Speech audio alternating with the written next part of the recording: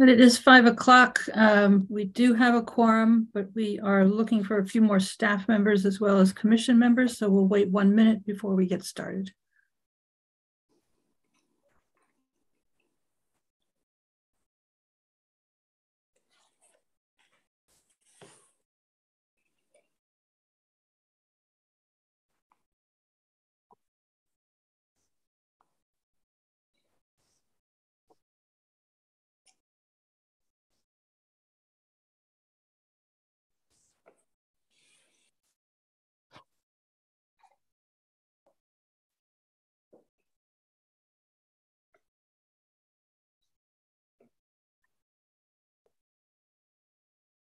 Just hanging on here. Um, there's Patrick, and I guess Andrew will be joining us as well. Um, I'll go ahead and get started with the script. Um, so good evening, everyone. This is the January 23rd meeting of the Nantucket Planning and Economic Development Commission. Uh, we are convening by a video conference pursuant to Chapter 20 of the Acts of 2021 is extended on July 16, 2022. This meeting is being recorded and all attendees are participating remotely via Zoom as posted on the town's website, identifying how the public may join. Um, anything you broadcast may be captured by the recording. Please silence all phones and devices.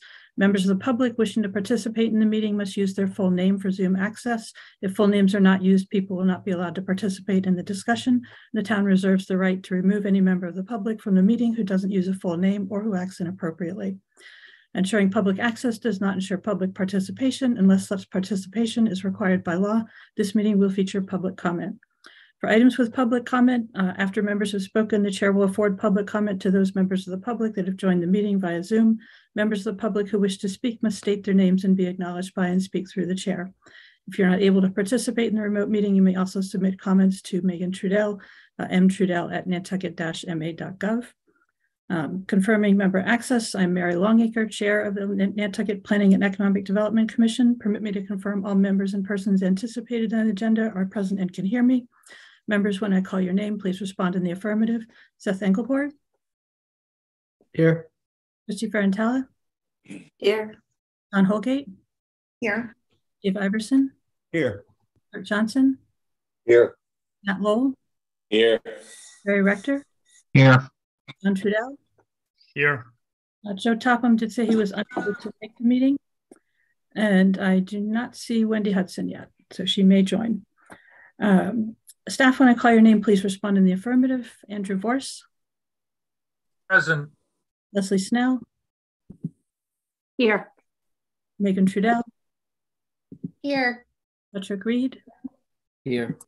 And from Mass DOT, Risa Kwame. Here. And we have an anticipated speaker, Chantal Blois Murphy. Um, good evening, Chantal. Thanks for joining us. Good evening. Thank you for having me. You're welcome. Uh, each vote taken in this meeting will be conducted by a roll call vote. So turning to the agenda, uh, do we have, uh, we do have one change to the agenda. The minutes of December 19th are not available, so we will not be discussing them at this meeting. Uh, any other comments or changes, suggestions for the agenda before we take a motion to approve? Motion to approve the minutes is submitted, Madam Chair. Thank you, Barry. Second. second. I got a second from Bert. Thank you. Roll call vote. Seth Engelborg. Aye. Christy Ferrantella. Aye. Don Holgate. Aye. Dave Iverson. Aye. Bert Johnson. Aye. Matt Lowell. Aye. Barry Rector. Aye. John Trudell. Aye. And I'll note that uh, Wendy Hudson is just joining us. Uh, Wendy, if you want to say aye to approve the agenda, you can have your vote recorded. Um, aye. Thank, Thank you. you, Madam Chair. Okay, um, so public comments. Are there any members of the public present who wish to offer a comment at this time? You have some members. Megan, let me know if anyone has their hand up. I am not seeing anyone with their hand raised. Okay, thank you very much. Uh, so moving on to the minutes of December 12th, uh, do we have any suggestions for um, changes to the minutes or a motion to adopt? Motion to approve is submitted. Thank Second. you, Barry. Uh, I think that was Bert for the second again. Thank you. Roll call vote. Seth Engelborg.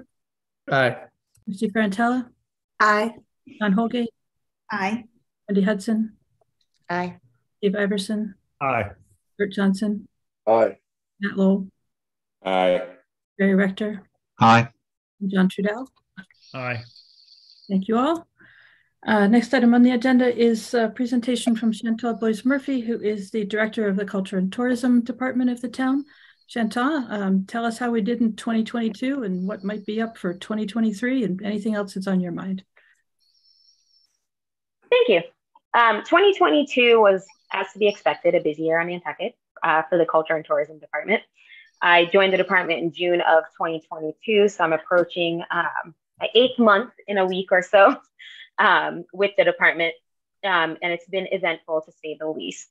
Um, this past year, we faced a lot of issues from uh, the most recent stranded passengers to um, uh, just general visitor uh, behavior on the island and things um, that we'd like to focus on um, for this uh, for this coming year and going forward regarding uh, those issues. I, will go into them a little bit more, but some of the projects uh, looking ahead that we're working on as a as a department are um, are building repairs as well as updates on the on the restrooms, the public restrooms throughout the town, particularly the ones attached to the visitor services office at 25 Federal Street. And also looking at the Sconset comfort stations out there with uh, year-round um, NRDA services out there. Uh, we're getting a lot more visitors year-round interested in going out to Sconset, um, whether it be to just see the, the village and walk around or do the bluff walk. And I think it would be really nice to focus on getting the comfort station winterized so that it can be open and available um, to both visitors and residents in that area. So that's one of the things that we've been we've been looking at. I'm really excited that um, town admin has been working diligently on that project, as well as the um, Parks and Recreation and DPW um, has been in, invested in that as well.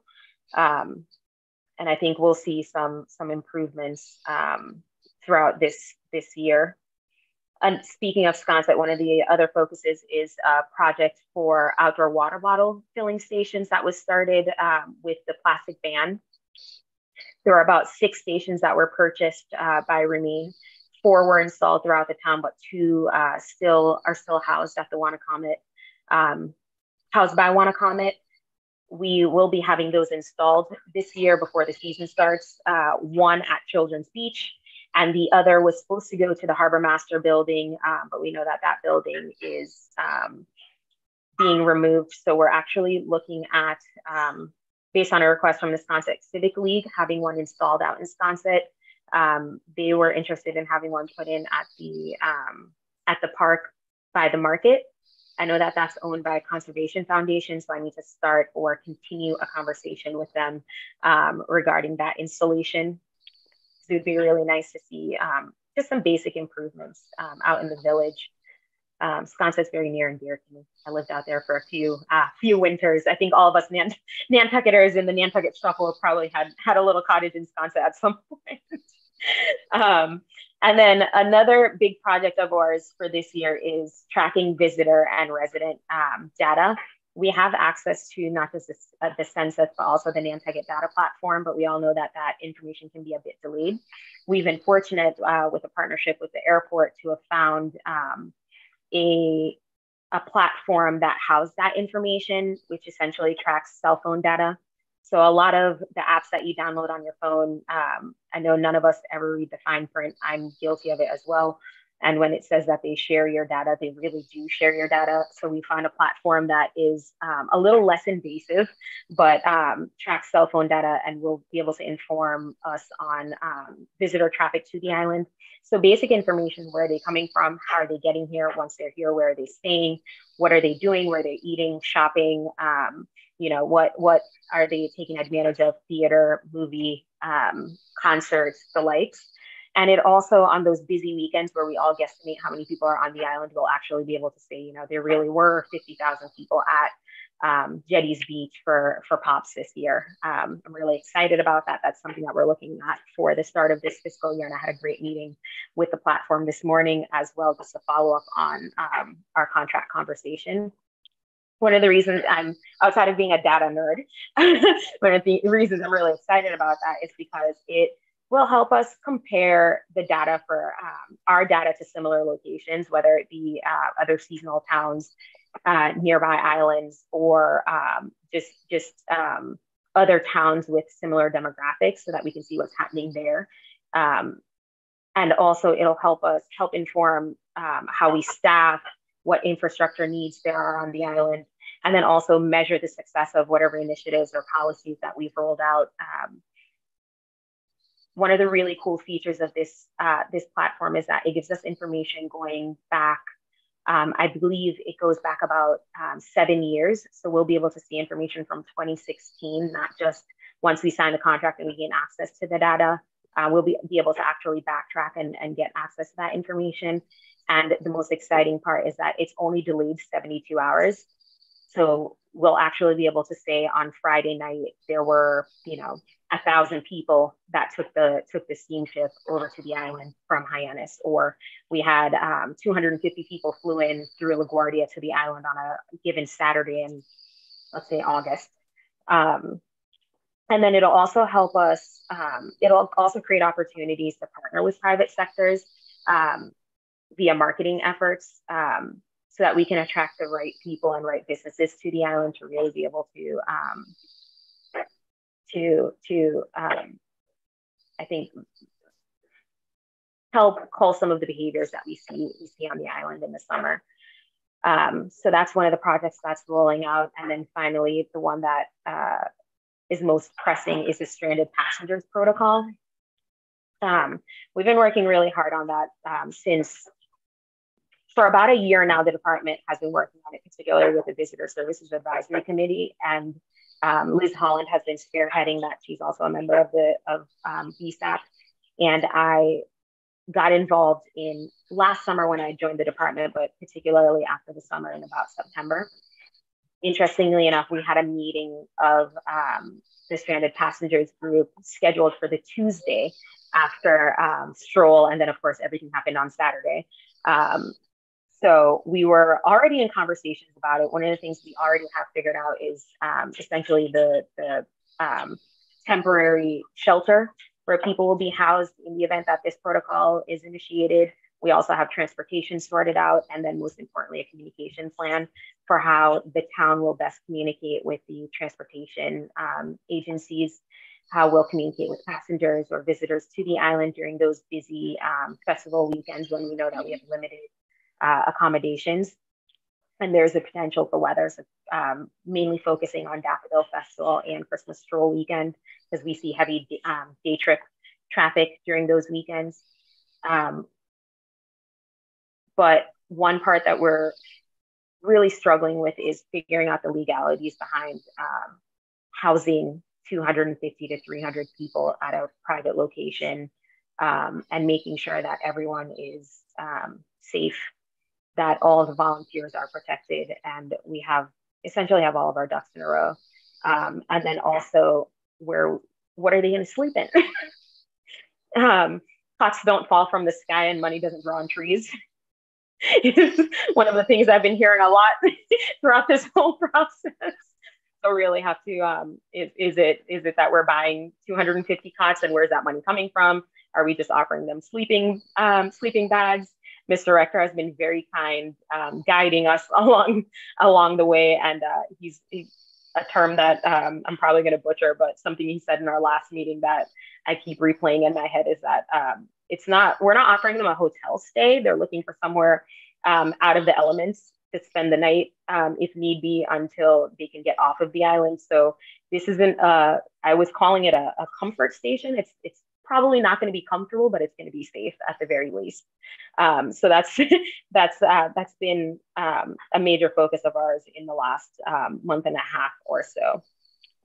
So I that's I said I would keep it within 20 minutes. I think I did a really good job doing that. So that's really my updates uh, for what the department is working on. Some high level things. We have some some smaller agenda items coming down the pipeline that I don't think I'm in a good enough position to speak on yet because I do have to um, keep checking off my boxes until um, I can speak on them publicly.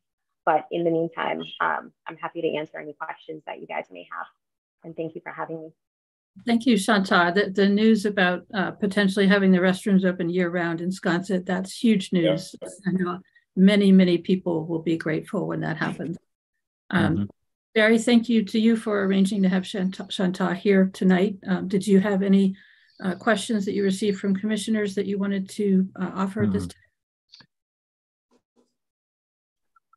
Madam Chair, what I what I might ask is just really two things. One, so Shanta, I was I was pretty blunt when I when I gave you that phrase, but truly, when it comes when it comes to trying to do sheltering, um, as you said, it really isn't a hotel. It's more of a life raft that we're offering.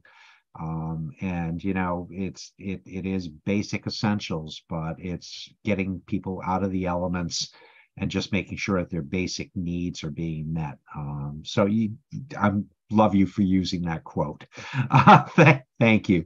Um, I think while I've got you here, and boy, that that doesn't mean I need an answer today, but did uh, one thing we talked about was were there any opportunities that you saw for collaboration between your department and the NP and EDC, both both on you know on a local, but more importantly on a regional basis as well too, because that's that's kind of what we're here for. So I don't want to put you. I don't want to feel like I'm putting you on the spot. Um, and if that can best be answered by maybe a, a, a letter or an email later, that's cool. Um, but I just wanted to kind of throw that back out to you.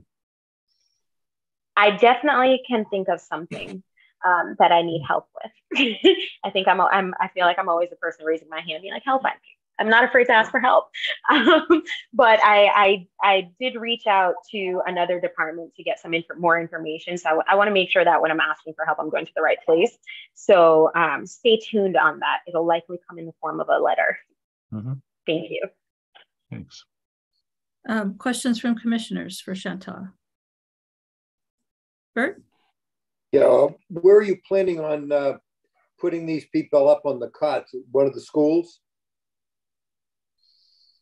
No, the Westmoor Club was kind enough to offer their um, their spa gym area. Um, they have that large space, so we're very grateful for them for that. Yeah. I was going to ask you that, but I didn't want to ask Chantal. So thank you for saying it because I remember when Liz talked to me about this early on. I can't even remember what incident happened it wasn't this year. This was a, this was a, little while ago, and that whole thing with Westmoor kind of popped into my head.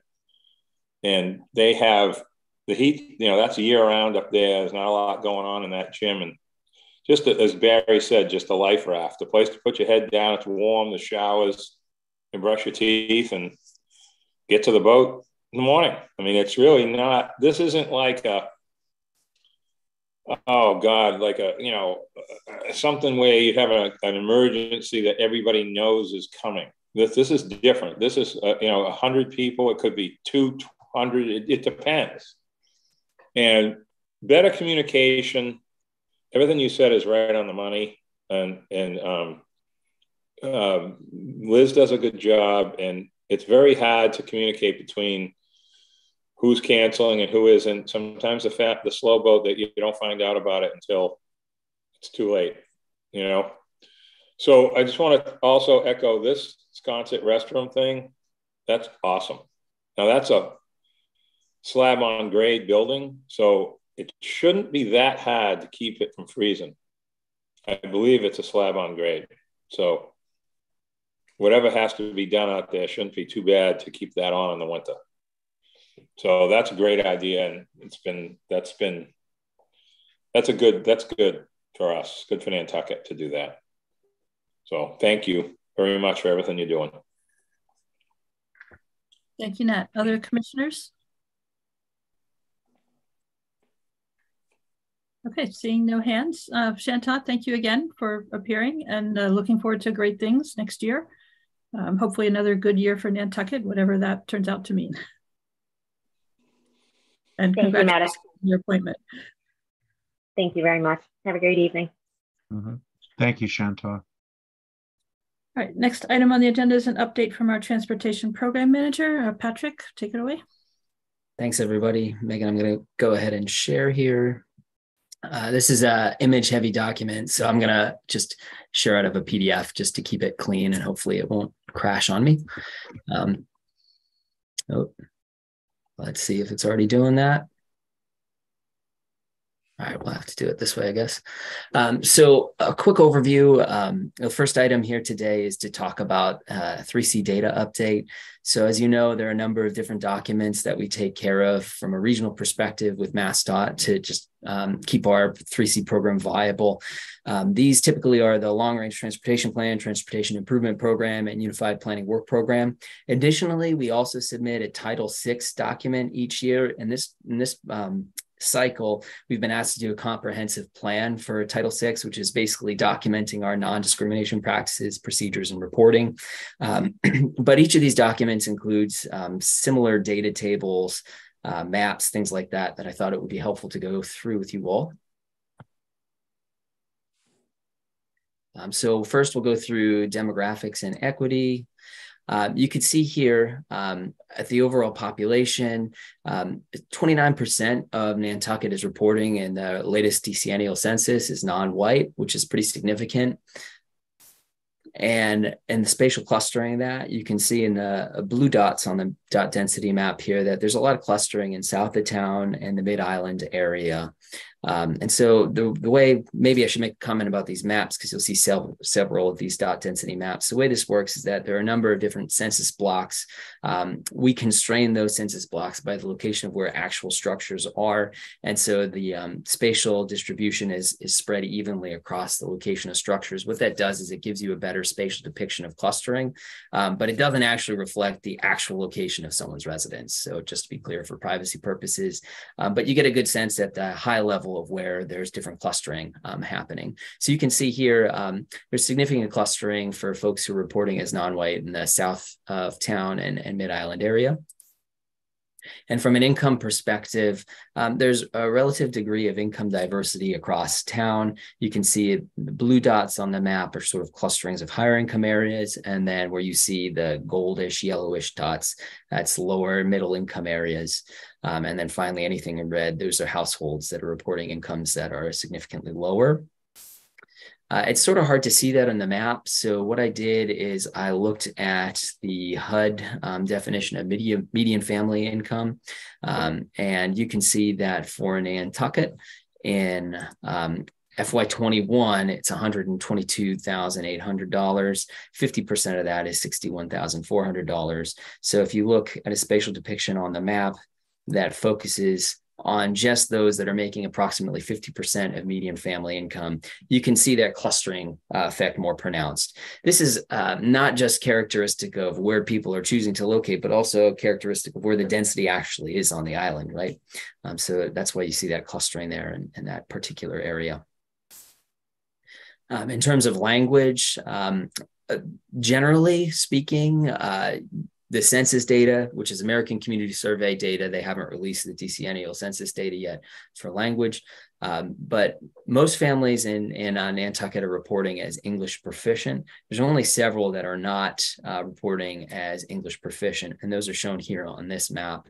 In yellow, you see sort of a distribution of uh, Spanish speaking households that are not English proficient. And then in red, a distribution of other Indo European language um, speaking households. That's a, a larger group of, of, different languages. And then four, um, some Asian and Pacific languages. Interestingly, these are all relegated to the same census block group. So you can see those uh, behind sort of the squares here. Um, but one thing to keep in mind is that the way this maps in the dot density map, it, it evenly distributes these households across that entire area, it could be the case that these are more consolidated and confined. And so additional field work could really bear out that distinction.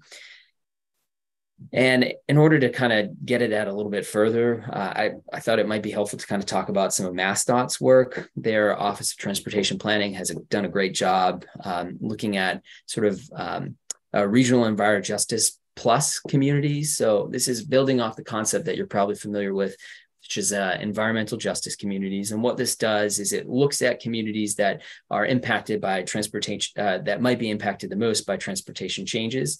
Um, and there's a couple of different statistical criteria that they use. So um, at least one of the three EJ uh, criteria for these different census blocks must be true. Um, that first, those first three there are that the AM, our annual median household income has to be equal in or greater, uh, equal or equal to or less than the MPO's 25th percentile. Uh, the percentage of minority has to be greater than or equal to the 75th percentile of the uh, MPO, and the uh, percent of households with uh, lingu- limited English proficiency or LEPs um, has to be greater than or equal to the 75th percentile. And so this is all relative to the island, not necessarily the state at large or the larger nation, which which is good. It kind of helps you get a better understanding of what the needs are within your own community rather than compared to a larger um, community group. Um, there's an additional criteria. Um, it says that at least one of the following transportation criteria must be true. Uh, households with no uh, vehicles um, has to be greater than or equal to the 75th percentile of the region. Households with disabilities has to be equal than or greater to the 75th percentile of the region. And same with seniors. So you can see the breakdown here for Nantucket as compared to the other regions. And you can see here on a map some of their draft work. They just updated this map today. Um, so I have draft labeled here because I'm sure it's a work on progress. Uh, but they show you some of the locations where they're um, considering um, status for EJ plus communities um, based on particular criteria. And so where you think about that language um, uh, situation again, where predominantly all those Spanish speaking households that did not have um, English proficiency, where where you see that purple area or pinkish area on the map. That's for MassDOT. That's showing uh, the most dominant factor there is zero uh, vehicle households as being a, a, reason why they would consider this a um, a regional uh, environmental justice plus community. But the thing to kind of keep in mind is it's not the whole area. It's likely the case that these folks are clustered towards uh, closer in towards the center of town. It's just not likely that someone without a vehicle would be living further away uh, from um, the town. So a couple big demographic inequity takeaways. As I mentioned before, 29% of Nantucket's population reports mixed or non-white racial status, which is a pretty large number. Um, uh, spatial analysis suggests that similar clustering patterns for non-white and moderate lower income populations exist, uh, particularly in mid-island and south of town areas. And then a very limited number of populations do not speak English very well on the island. Um, but those that do not tend to speak English very well cluster uh, by language category. Um, and so I think additional fieldwork would be helpful to further draw out spatial patterns for language and transportation needs for, for those communities um, and to get a better sense of where they actually reside within the census blocks, which are relatively large. Moving on to safety. Um, what you see here on yes. I, I think it's really important that you provided the context for some of those maps, um, saying things like the clusters are not just because of the factors that being mapped, but also because of how the general population is distributed on the island, and you know, explaining how the the dots don't represent locations; they represent an equal distribution across the entire block. Those are really important things to understand as we look at these maps. So, thank you for bringing those out. No problem. Uh, moving on to safety. Um, a couple different things to keep in mind here as we go through these maps. These are based on crash records that are reported by the town and state police. Um, they're aggregated by MassDOT into an impact, uh, what they call is their impact database. Um, and the town basically um, is the able to kind of use their data to go ahead and spatially map. And MassDOT's done some spatial mapping on their own. In this particular case, I've taken 20 years of uh, crash data here to, to kind of give you some uh, senses of where things are happening uh, in town and in the region. Um, there are 3,415 crash records that are um, basically mapped uh, or that are uh, potentially able to be looked at to be mapped. We're uh, automatically geocoded um, ones were 2,984. I had to manually locate 215 and I could not locate uh, a remaining 216. So that means 216 crash records are out there and it's, it's just difficult to um, figure out what or what why was happening. And i think that kind of gets the um, need to kind of think about um, consistency and reporting and the need to make sure that we do uh, report all the locations. Because i think this stuff is helpful for um, future investment purposes thinking about where you might want to do police patrol things like that. Um, so the yellow boundary on this map here it shows a statistically significant spatial dispersion of all crashes over 20 years. Um, this shows you where the frequency of crashes crashes are more likely to be a pattern rather than random. Um, but this is relative to the spatial average of all crashes on the island. So that means that you'll see things beyond that sort of yellow boundary, right, that have this gradient purple color. That means that crashes did occur in those other locations. It's just less likely that those are related to some kind of pattern rather than being, uh, uh, and more so being normal, right? Um, so the crashes that fall within the yellow boundary, you can think of the pattern most likely being related to higher volumes, higher frequency of people, just more people there. Um, the darker gradient suggests that there's a higher number of crashes relative to the spatial average, and lighter means that there's less. But again, um, anytime you see like a block on the on the map here, it shows you that there are a series of, of crash records located in that particular area. If there's an area that's empty, that means we don't have any crash records that we're able to geolo geolocate on a roadway in that particular area. So what you can do is you can drill down into the data um, to get significant characteristics of interest um, and to look at those and see where they fall. Um, this is a map that shows you where statistically significant um, injuries and fatalities are, are, are located and have a higher probability of not being random, right? And again, that's related to that idea that there's just more people here. So the pattern that's really being picked up is higher volumes, more people. It doesn't necessarily mean that the um, uh, low areas outside of the yellow are not important. It just means that the spatial pattern isn't really there and they're more likely to be random. So crashes resulting in injuries, um, there's sort of a, a, number of different categories, and I've aggregated them up to make them a little bit more comprehensible. But 2% of any crash uh, resulting in an injury was actually a fatality, right, for the town of Nantucket out of those 3,400 some records. Uh, 11% uh, resulted in incapacitating or severe injuries, and 87% were non capacitating or minor injuries. Um, this, excuse me again. Yes. So you say this was 20 years of data, roughly 3,500 crashes. So that's 70 fatalities from car crashes? Seven fatalities. Seven. Okay. Yeah. yeah to check my math there. You're good. the, these are only the graph that you see here is only relevant to the crashes from that set of 3,000 some. It's a mm-hmm. subset that have resulted in injury or fatality. So, of those crashes that have some kind of outcome that involves an injury, 2% of those were mm-hmm. fatalities. Um, so, that's a relatively high number. Um, it's important to kind of just keep that in context um, just because i think when you you hear seven it doesn't sound like a lot over 20 years but from a percentage standpoint it's pretty high for a fatality rate. Um, so moving on here, all documented vehicle actions um, uh, for crashes resulting in injuries and fatalities. Again, this is a subset of any all the crashes. It's just the ones that have resulted in injuries and fatalities. Um, most of the vehicles, or the greatest number of vehicles, um, have been documented uh, traveling straight ahead for these types of uh, crashes.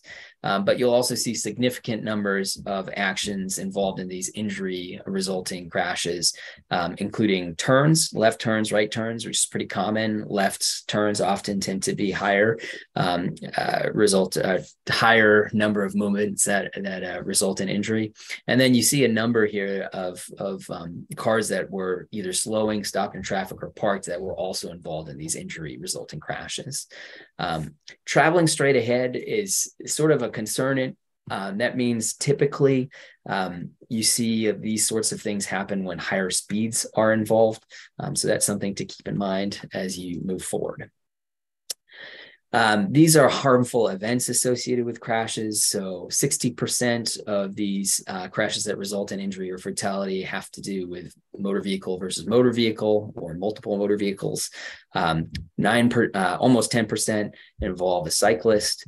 Uh, about 5% involve a tree. Um, and then about 4% are, uh, have a parked motor vehicle and about uh, just two and a half percent um, with a pedestrian. So another thing to kind of reinforce here is that the data is only good as the reporting. Um, there were a couple different cases where I was familiar with the crash events and I saw it reported a little bit differently in the file. But at the macro level, this gives you a little bit of a, a, a good picture of, of macro trends, right? So trying to glean any any sort of relationship between time season uh, was sort of the next step here. Obviously you can expect a higher frequency of crashes when more people are on the island so that peak season uh, you see more crashes occurring in the peak season particularly in august um, there wasn't really any kind of spatial trend surprisingly i, I kind of went into this assuming that you'd have more crashes on saturdays sundays maybe thursdays and fridays things like that but that doesn't necessarily seem to be totally borne out by the data. Um, and also rest assured, you can feel safe that if you're driving on a Monday in December, you're probably uh, you're probably doing okay and and will be uh, arriving at your destination uh, safely. Um, so for the crashes that result in injuries, um, the next step was to look at time of day and crash severity. So on the y-axis here, uh, or the vertical axis, you have the time of day. Um, on the x-axis, you have the number of fatalities that were associated um, with a particular kind of result. So in the dark red, you can see um, some injuries. Uh, I'm sorry, in the darkest red, you can see some fatalities. Um, they are really occurring more so in the afternoons, right? 1, 2, 3, 4 p.m. Um, it's sort of surprising when you see the next graph. You, uh, one might assume that many of these crashes are going to be happening later at night. Um, but crashes that are resulting in injuries are actually sort of dispersed throughout the afternoon. You can see there's sort of an uptick around 11 a.m. and things are a little bit higher through the 6 p.m. time frame. And there's a spike again at, at you know midnight and 1 a.m. late night. But for the most part, um, not a lot of crashes happening in the early early morning and and the um, sort of the daybreak 7 a.m. 8 a.m. timeframe. Uh, the next area to drill down is crashes involving non-motorists. You see a, slightly more constrained statistical um, probable area where, where crashes are less likely to be random involving non-motorists. Again, this is uh, likely a, ph- a related to um, just volumes and the number of people that are there. Um, but you can see over the map to other locations where there um, have been non-motorist crashes in those gradient blocks. Um, crashes that involve non-motorists, 22% uh, had some sort of pedestrian involved in the record, 75% had a cyclist, and then other 3%, those are people like skateboarders, people who are rollerblading, people who have a stroller, things like that. The injury severity of non-motorist crashes is important to look at. Um, there's a big gap here, right? You'll see in that gray block, 17% of uh, crashes with involving non-motorists result in a report where you know the injury severity is not known this is not necessarily the fault of the person who is doing the record keeping because a lot of times the injury severity is not known as someone is transported off to the hospital and leaves the scene um, but it is important to kind of just call out here that there's a gap. Um, so 1% of these crashes with non-motorists resulted in a fatality. Uh, 7% resulted in a severe injury or an incapacitating injury, 45% non-incapacitating, and then 30% of folks walked away. So those are likely the, the lower speed crashes.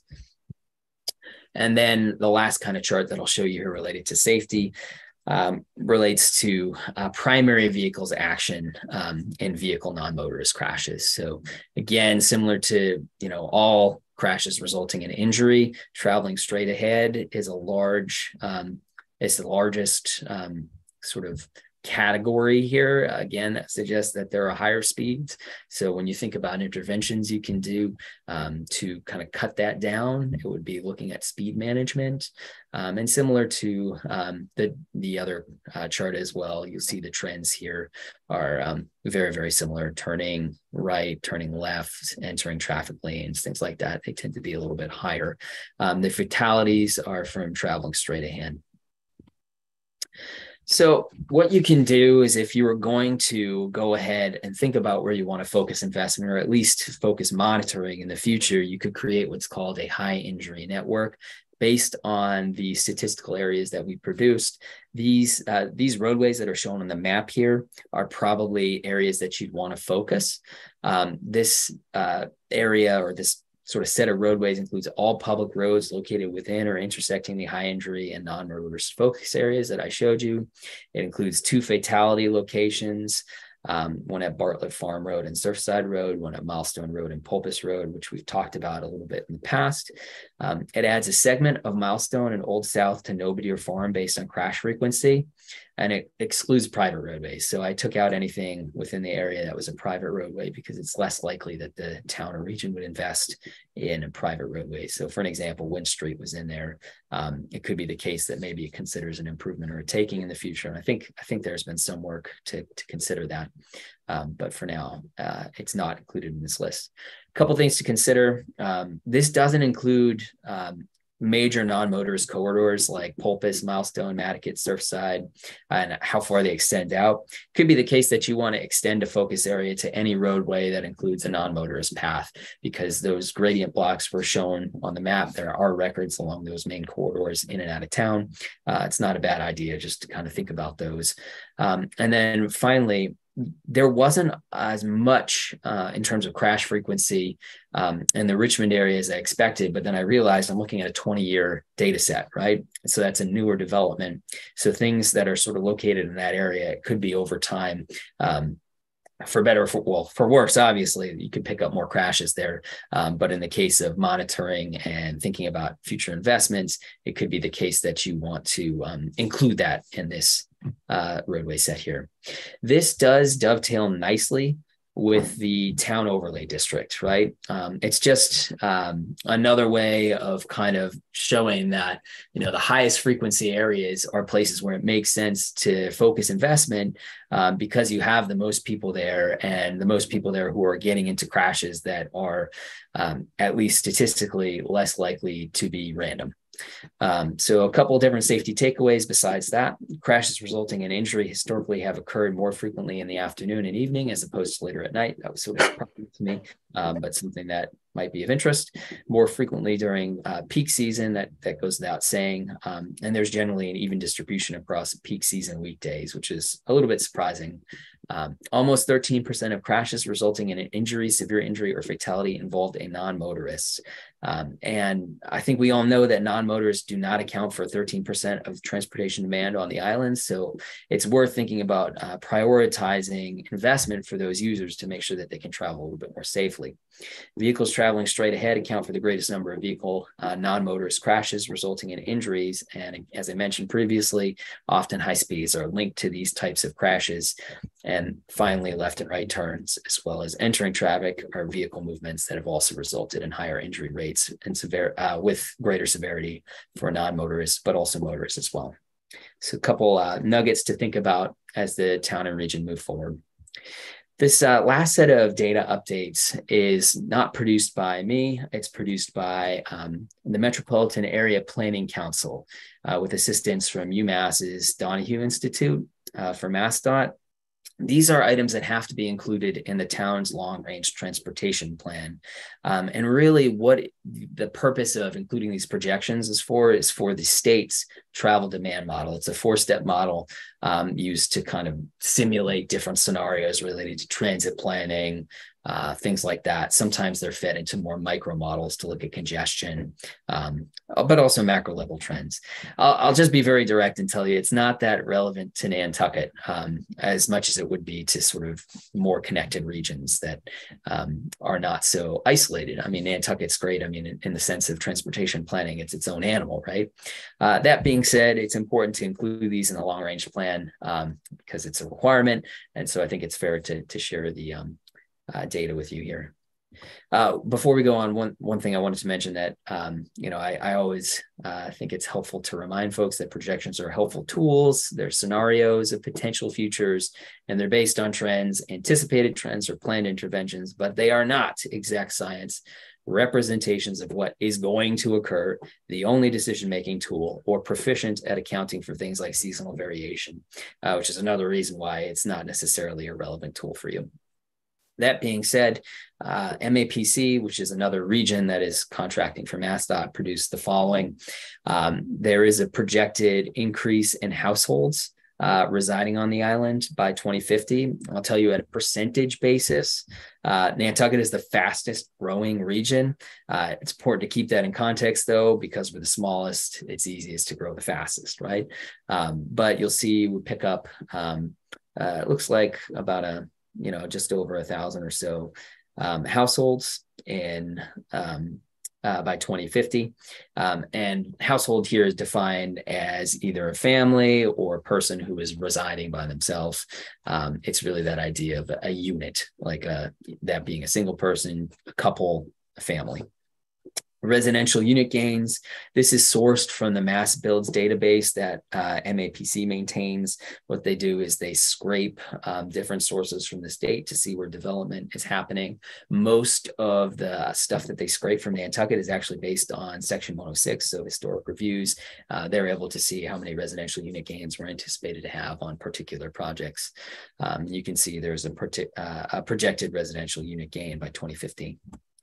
Um, that means that the residential unit to household ratio is actually going to decrease. Right now, for every two units that exist on Nan, uh, there's 2.2 units, I guess, for every household on Nantucket. Um, but important to keep in mind, some of these in the housing stock are not necessarily all your units. So another reason why it's important to have some context with these numbers. That is projected to decrease by 2050 with the new household gains. Um, they also did some employment modeling. I will be very direct and so tell you that I believe these are the result of um, macro level changes, um, the things that you see on the map here. But you'll see the lower um, uh, sort of portion of the chart here, which includes a number of different macro level sectors. Um, there is a on, on the on the full, there's sort of a net gain, a very, very slight net gain. And then there's a loss projected for the leisure and hospitality, injury, uh, hospitality industry. Um, I believe that just has to f- do with following state trends at large, and then also retirements from um, the workforce that are anticipated with aging out of the, the labor force. So protection takeaways, demand for permanent residents on the island will continue to increase through 2050 um, based on MAPC's um, work. Unit to household ratio decreases, meaning potentially greater competition and cost for housing. Um, employment losses between 2020 and 2030 are potentially attributable to macro level retirement trends. Minor employment growth following 2030 is potentially attributable to gain in permanent households, uh, but generally permanent island based employment is anticipated to remain static. Um, overall, I think it was like a nominal change of 65 new jobs. Um, increase, there's also anticipated to be increased number of permanent households, resulting in greater demand for the transportation network. So all this is rel- uh, relevant to the transportation network in that you have more people living here year round it's pretty obvious you have more people demanding um, transportation, um, either services based on the roadway, things like that. Um, so those are the data updates that I wanted to walk through with you. I know it is a ton of information, but I think it's important and it will be included in the documents that you see moving forward. Um, happy to answer any questions that you have about them. Patrick, thank you. That was quite a lot of information. I wonder, is that shared with other departments, uh, in particular the housing um, director, Tucker Holland, uh, or maybe Bert through your connections? I don't know we got, um, gotta get on. So Patrick, you might want to reach out to Tucker with some of that information and uh, with the qualifications that, that you mentioned, I noticed that uh, logging and mining employment was anticipated to increase on Nantucket, and I thought that was unlikely. um, John Trudell, you have a question or a comment? Yes, thank you, Madam Chair. Uh, Patrick, I just wanted to, uh, for clarification, um, go back to the percentage of fatalities because it is significant. Um, uh, Mary brought up uh, the 2% of the 3,500, that is 70. So either it's 70 fatalities over the last 20 years based on the 3,500 crashes, or it's uh, it's um, uh, seven. So we just have to make that um, clarification or correction uh, because 2% of the 3,500 is 70. Yeah, I wondered, is, is it 350? Is it a smaller set of the crashes that we're looking at, Patrick? Yeah, let's clarify here. So there's seven fatalities total across the 300 uh, 3,415 in the data set. Not all of those are non-motorists. So it should be seven divided by 3,415. Point zero zero two. Yeah. Yeah. 0.2%. Yeah. Yep. Right. Okay. Yeah, I, I can believe the seven. I could not believe the 70. So Yeah. Great. Thank you for the clarification. I'll go back and check the numbers, just make sure that they're all squared away here. Thank you. And thank you, John, for following up on that. Uh, Other comments or questions from commissioners? Right, I don't see any. So Patrick, if you want to move on to your next topic, and thank you again. That must have been a lot of work, especially Yeah, no, of- it's definitely uh it's definitely important to get those charts together because I think I think they do help and and we do want to make sure that they're accurate uh, and then um reporting and easy to understand in terms of like what's actually being reported. So I appreciate the comment from Mr. Trudell. Um, this next item is going through report or a status of ongoing projects. I'll try to keep this pretty brief. Um, the current projects that you see on the left-hand side of the screen here, Milestone Road and Polpis Road path and intersection improvement. Right now, a contractor GPI is working with MassDOT on permitting. So the good news is that this is moving through the permitting process.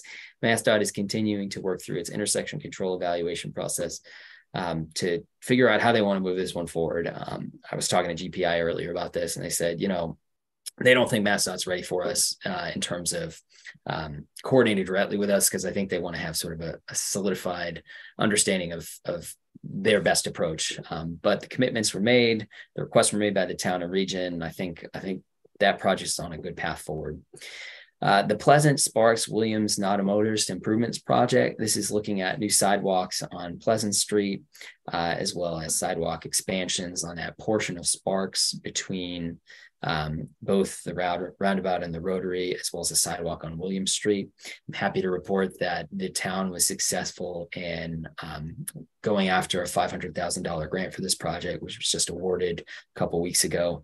Um, so that's that's a real success. Um, looking forward to seeing that one move forward. Um, and that will live with the DPW. Um, the Wauwinet Road Side Path Project. Thanks for all who have contacted me on that particular project. This went to the select board recently to get a review um, of the memorandum of agreement with Federal Highway Administration's Eastern Federal Lands Highway Division, which will be managing the project. Uh, the memorandum of agreement spells out roles and responsibilities as well as an anticipated timeline for their design of the project.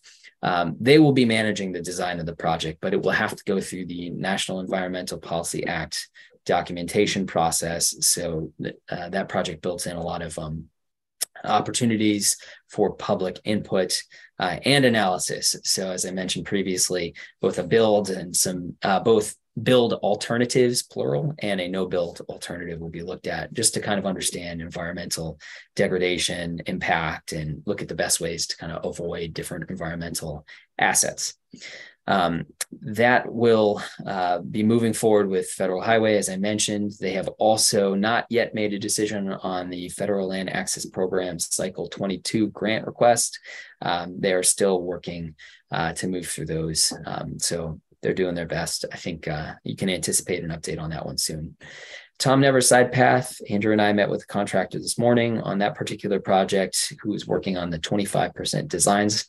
Um, they have 90% of their base map and survey work done, so that's great. Um, what they'll be doing is they'll be overlaying the uh, path design from the feasibility analysis on the base map when it's done and, and start to move that project forward. I contacted VHB for an update on our request for estimate um, for the Orange Street non-motorist improvements project. This is that path that would span between uh, Goose Pond uh, Road and the Rotary. Um, on the north side of the roadway. Uh, the reason we've chosen VHB as, as, sort of the first to get the first bite at the apple on this particular project is they've done work on, with us on Orange Street in the past. They are still in the process of preparing an estimate. Um, so uh, they told us they're diligently working away, but haven't gotten there yet. So we're waiting to hear back on that one. On the Surfside area water and roadway improvements project, contractor GPI Um, I'll, I'll, focus more on the roadway side, uh, just because the water side is sort of a, a different bailiwick.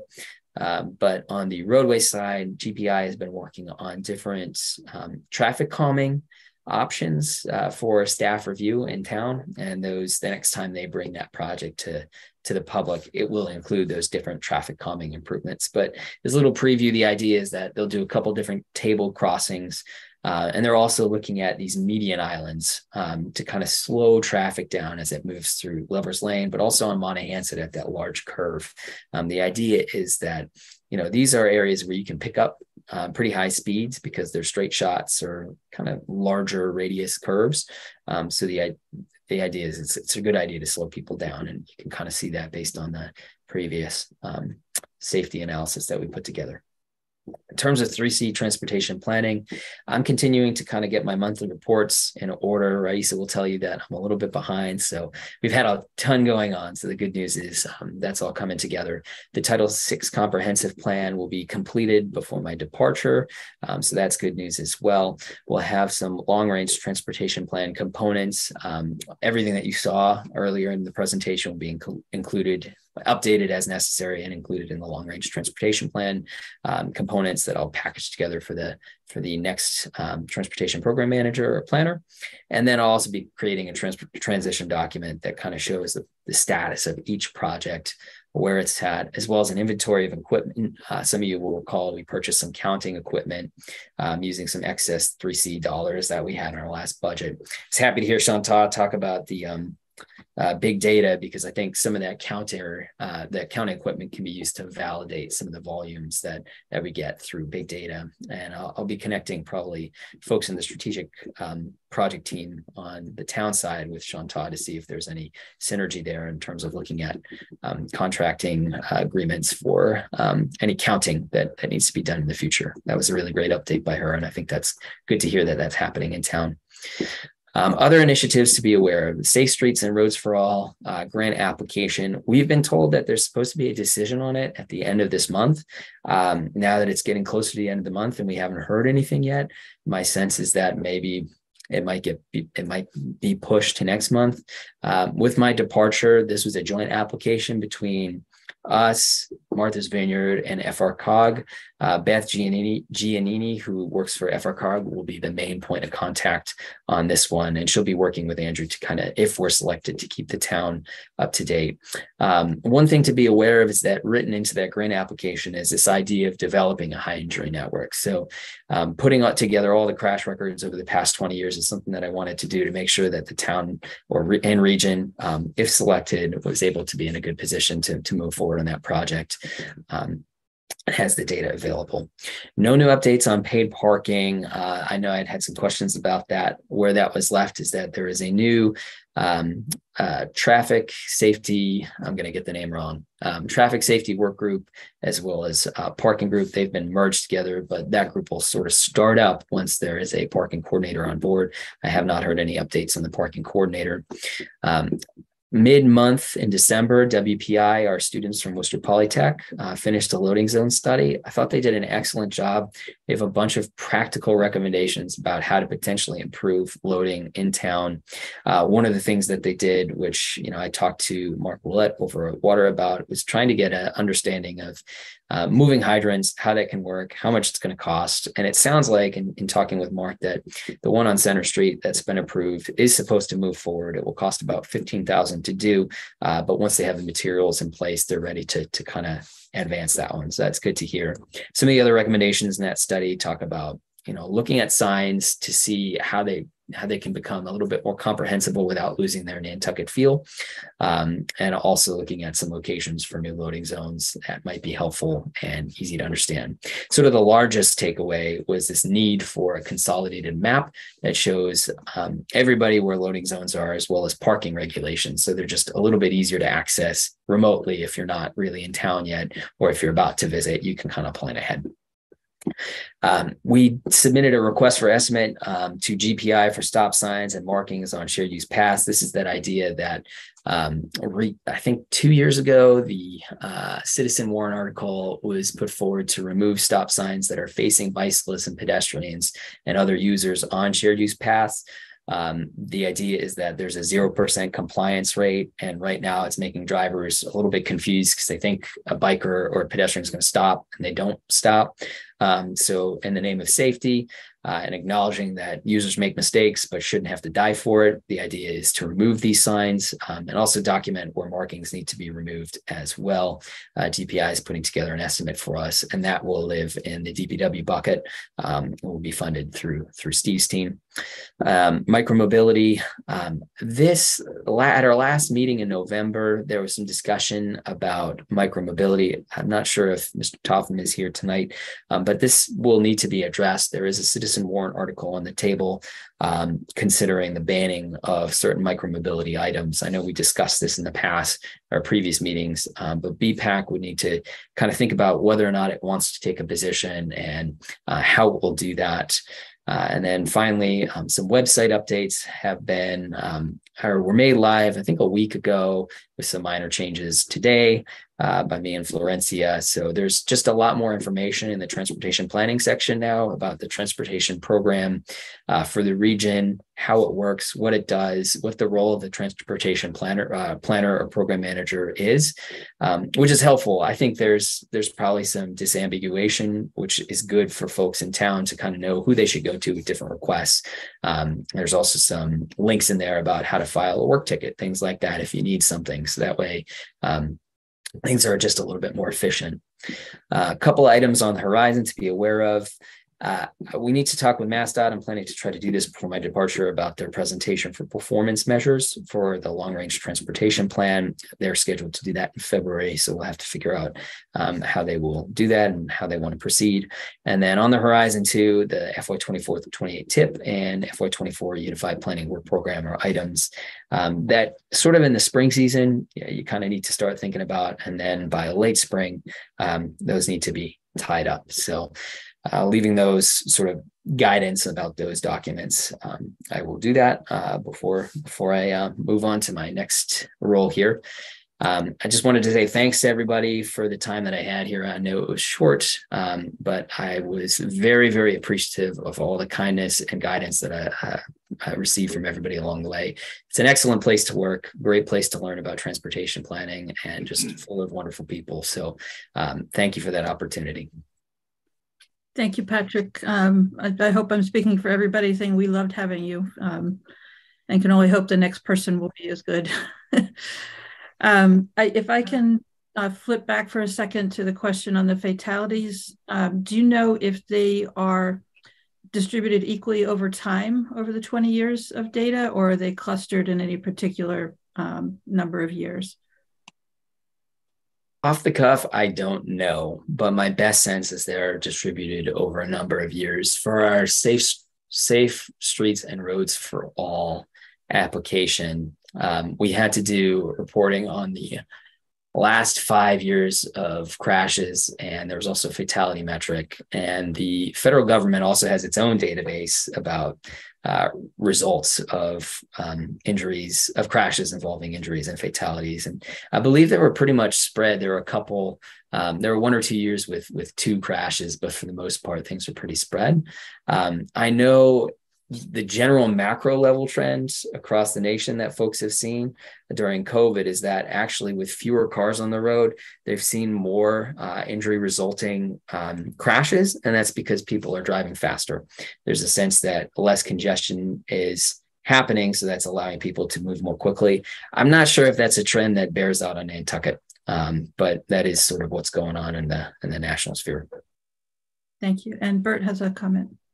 Yeah, Patrick, before you go, uh, Nats sort of uh, assured me that we'd get the Tom Nevers bike path in before I die. Uh, we got to break ground in the coming year for that. I hope so. I know. I know. Um, it's one that you're interested in. I'm glad that the, we got a contractor working on that now to design it. And I know there's beyond you. There's a lot of people who are excited about that project.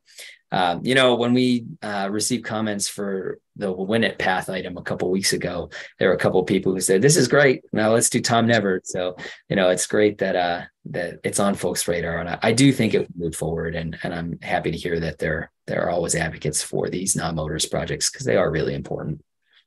Well, I got a lot of backlash when the paper said that they were putting in the Wauwinet bike path, I had to explain to people that that was federal money because of the lighthouse. And uh, we're still in the TIP program for Tom Nevers. It's it's definitely a challenge, I think, sometimes um, to kind of understand on Wauwinet. It's a it's a project of opportunity, right? The town was awarded these grants it has to take action on them. It doesn't necessarily mean the project is more important than some of these other projects. It just means that without those particular discretionary programs, we wouldn't be able to advance something. Uh, so it's it's certainly the case that you know I think both are important personally, but um, it's it's not an indication that you know one is you know better or more worthy than another of moving forward it's just sort of a the way it worked out in terms of the funding and when funding was available and what pot it was coming from where are you headed now, Patrick? I'm moving up north to another regional plan- planning agency um, just to kind of get get uh, get my feet a little bit more wet up there. Uh, it's a obviously a little larger. Nantucket's the small, smallest regional planning agency, but I'm I'm looking forward to working with um, the folks who who kind of fill my shoes uh, later on. You know, there's a lot of cross collaboration across RPAs and transportation management staff. So uh, I think I'll ideally be seeing folks again from from here, and I'm obviously going to be very interested in, in hearing about what what happens in some of the projects that I've been following. So, are you still going to be in Massachusetts? Or are you going to New Hampshire? Yes, Massachusetts. Patrick, you'll have to bring a bike back and visit Nantucket on vacation and check out the paths. I will certainly do that. Uh, so, do you want to uh, elaborate any more on the vacancy update uh, item that we have on the agenda? Or have we covered that at this point? Chair, I just I want to update the commission on where we are with that. Um, the job posting has now um, been finalized and um, applications are due on Friday, February 3rd. Um, um, we have reached out to the former transportation planner, and I know that there is interest on his part in reapplying. So um, definitely thank Patrick for all that he's done. And, you know, that was a two year search. Um, we were certainly, it was uh, an incredibly productive time for him here. Um, and I do hope that um, to have, uh, you know, something before you, um, many of the barriers that we experienced the last time with hiring, which you know, with the union, with the position being in the union, um, are eliminated now. Um, and this will be a direct contract with the commission um, moving forward with whoever fills that job. So uh, we hope to have this on your February agenda. So. Thank you, Andrew. Um, do we have an arrangement for a Mass DOT representative to do some of the work as we did last time?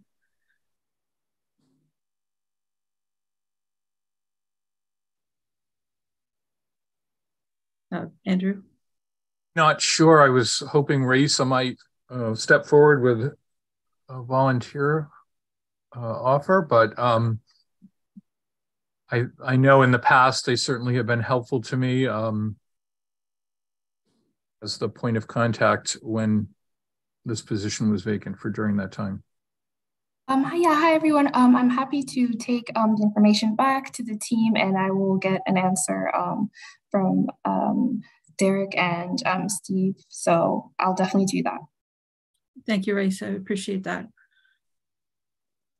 Uh, any further comments from commissioners? Nat, Mary? Mm -hmm. Hey, thank you, Mary. Um, Patrick, I just want to say thank you from just from myself. Uh, to you. Um, we've gotten to know each other pretty well. And our way of doing things over here is certainly going to, I think, help you in your other ventures because there's we're not the only place that has quirks and we, we, we do it this way, not that way kind of stuff that happens. And uh, I, you know, I'm not going to forget you. And anytime you want to come down here, give me a text, and uh, hopefully my apartment will be free and you can bring your family here and enjoy Nantucket. So, um, You know, we know. And to also too echo what Andrew said about the difficulty in getting you here. You know, the contact that Leslie and Andrew had with you for, was extensive, and it was very difficult. And this position, I think, I think everybody now that needs to know knows how hard this job is. It is not. It might be easier to find a brain surgeon to come to Nantucket and work at the hospital than it is to find this job. I mean, it's ridiculous how complicated this is because of all this stuff that the state requires. It, it, it's it's just complicated, and it has gotten worse. So, you know, your field of expertise is different than than most things. So, um, appreciate it, and I look, I wish you the best, and hope this was the right decision for you, and I hope we hope I, your time here was helpful for you. That's that's really what I'm saying. So thank you. I definitely appreciate it. I, I, think it was an excellent opportunity. I learned so much, and um, like I said previously, I think I think the best thing that I'll take away is the great people that that work on the island and live on the island. It's a it's a great, unique place, and I, I was really beneficial to have worked here for a little bit. Thank you, Patrick. Right. Uh, if there are no other comments, um, Patrick, this, this may be the last time we see you. So uh, Godspeed. mm-hmm. Um, so next on our agenda is an update on the DLTA funding. Um, is that uh, Andrew? Yes, thank you, Madam Chair. So um, I don't know if this was included in your packet, but basically our DLTA, which stands for District Local Technical Assistance Funding, available to the state's RPAs um, has been uh, approved. Um, our normal amount is $50,000. It's been uh, increased to 83,300 this year. This uh, funding uh, can be used towards either projects of our own initiative or projects of the town's initiative. There's an extensive um, list of the kind of projects that are basically about smart planning, um, We've used it uh, before for open, some well for master planning, for affordable housing, and other similar projects. Um, I would ask the commission to um, affirm my vote on the contract. There were sort of time constraints to get that done, um, which uh, you know indicate that we do accept that uh, grant award from the state. So, I'll make that motion, Madam Chair. Thank you, Bert. Do we have a second? Second. Um, sorry, I missed who that was. Was that Barry? Yeah. Okay. And uh, any further discussion? Right, if not, we'll take a roll call vote. Seth Engelberg? Aye. Christy Ferrantella? Aye. Uh, Don had to drop off. Uh, Wendy Hudson? Aye. Wendy, you're muted. Did you hear me? I said, oh, aye. Oh. Thank you. Dave Iverson? Aye. Bert Johnson? Aye. Nat Lowell? Nat? Muted. Aye, Madam Chair, sorry. Uh, Barry Rector? Aye. And John Trudell? Aye. Uh, and Mary Longacre, aye. Thank you. Um, okay, so Andrew, you're all set on that uh, letter. You have our endorsement of your acceptance. I don't think we have anything else to do there. Um, so next is the update on the open space and recreation plan. And again, I think that's you, Andrew. Yes, thank you, Madam Chair. So thank you all for those who have sent in comments, especially you, Madam Chair, who I know did an extensive read of the uh, plan and, and uh, gave quite a bit of uh, feedback. I have now received feedback from the town manager, who also conducted a very extensive review. And um, today, on my conversation with Patrick, with the consultant, on the Tom Nevers bike path, we discussed the open space plan as well. So a few uh, changes or, scheduling to keep in mind here. Um, if there are any further comments from commissioners, I would like to get them all, I would say by no later than the end of next week, which would be the 6th of February. Um, um, so six would be Monday. I'm sorry. Um, whatever the Friday is, if you could just, right. And uh, at our meeting in February, I hope to have a final, final draft incorporating all of the comments that were made. Um, during this next month, the plan will be reviewed by the planning board as required under state regs. Um, and then hopefully this will, um, after that, I would hope um, we have a final, final draft to review. Uh, we talked about another 30 day review for any further public review, um, where after that we would finalize our review and the select board would have their, I guess, final, completely final last review in April. Um, as you know, this plan, um, you know, has had a has had a numerous, I guess, impediments over the years. Um, it is very important that we received a draft approval. Um, a new round of funding came out recently for uh, trail funding and, and other things. I don't know if the town intends to apply for those, but with the draft plan approved, um, uh, the town is not uh, prevented from applying for grants where they would have been in the past. Uh, it is important, however, that this plan be finalized by the town um, in order for us to receive funding. So again, our schedule still works for all that, but there really cannot be any further um, delays. This this needs to move forward and be settled, um, you know, in the next couple months. So. Thank you, Andrew. So we'll look for that um, revised draft coming back to us. Um, did you say uh, hopefully at our next meeting? Definitely at your February meeting, yes. Okay. Thank you. Uh, comments or questions from commissioners on that topic? All right, seeing none, uh, moving on to the discussion of the NP and EDC mission. And Megan, you have uh, a chart to share on the screen, I believe. So Andrew um, did a really nice job of charting out the different sections that we want to look at and uh, the reasons why we might want to change things and has some questions for us to consider.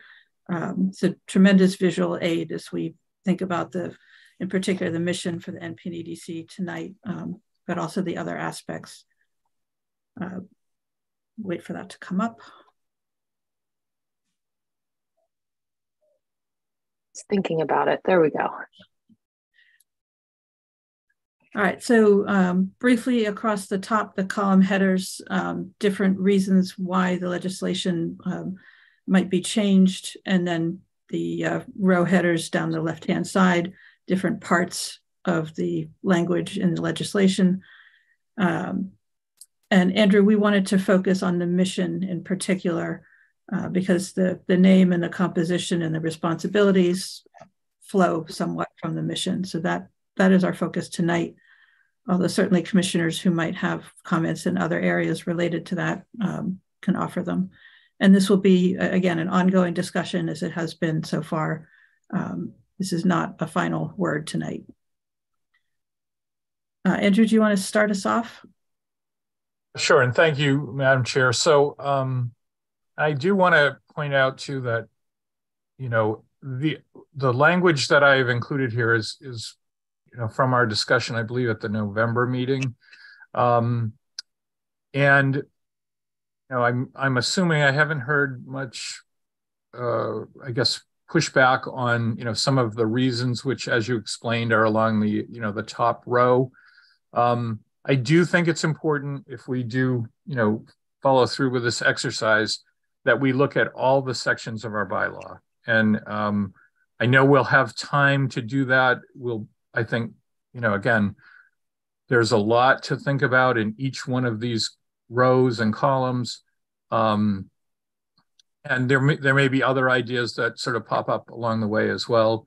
We want to use this as a working document to sort of, um, I guess, map out our discussions as they go along. So um, the mission section, we had a little bit of discussion the last time from commissioners.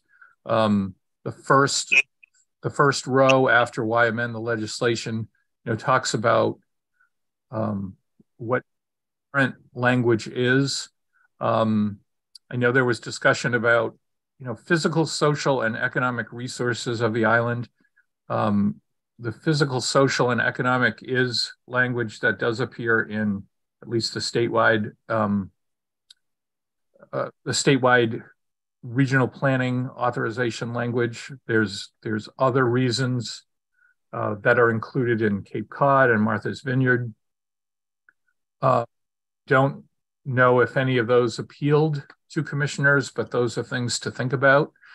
Um, and again, the what I've included in red is sort of our uh, compilation of some of our staff ideas, some of the commission ideas that we've talked about. So there, I don't have a proposed um, new mission yet. Um, it's something that I think we need to, you know, uh, think about and sort of um, uh, having further discussions about. Um, when it comes to removing outdated practices and language, uh, you know, I don't know how people feel about the word orderly. Um, to me that it might be a little bit outdated. Um, we talked about removing confusion and providing cl providing clarity, and I do think that as we've already provided you that you know planning is something that all island organizations do. Um, the select board, the um, sewer committee, the land bank, you know, no matter what, there is planning occurring in all of these groups. So I think one of the things that I that I think we should recognize, at least in our own mission, is that we're not sort of planning other people's um, I guess jurisdictions. Um, and I think what happens in most RPAs, where you have multiple towns, um, multiple individual organizations. Um, the the goal in those places is to bring all of that work together, right? To take the work of on the vineyard, for example, the six towns, and make sure that you know things are consistent and working together. Um, here, I think what we're doing is is is not planning for others; is that we're actually assisting them in their planning. Um, think that we're um, providing you know studies and professional services and other things um, you know to help basically you know these other groups. And that that goes along with the two next thoughts about you know clear here that we're um, we're not creating inconsistencies uh, and we're not conflicting with the town that we're here to assist the town you know the town and county of Nantucket, you know, build their connections through, um, I guess, a, a, a greater uh, overview that connects to state and other regions. Um, and that that's what we've kind of tried to do, at least over the years. Um, one example of that is the professional services uh, to the town through the PLUS agreement. And again, it's not uncommon for regional planning agencies to enter into contracts with the town to provide various levels of services. That plus agreement from 2012 was really the first time that that was done after years of sort of, you know, it was just assumed, you know, how everything was gonna was gonna happen. Also, improving effectiveness. I think the current language, you know, is very broad, as we've talked about. Um, other RPA enabling legislations uses, I guess, entire sections to define what terms mean. Um, some of these terms have no definition, they're subject to interpretation, not only by commissioners, but other people reading it as well. Um, and I think if you if you have spent any time looking at some of those other um, ruling laws, you'll see that, that there is an effort to make sure that things are, are actually defined. Oh, that's, I don't know if you have all had a chance to read over any of this. Um, that's that's where uh, we are right now in terms of the mission part of this. Thank you, Andrew. Uh, comments from commissioners?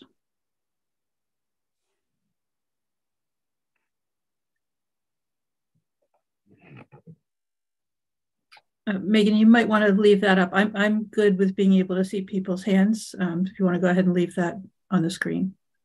Barry, go ahead.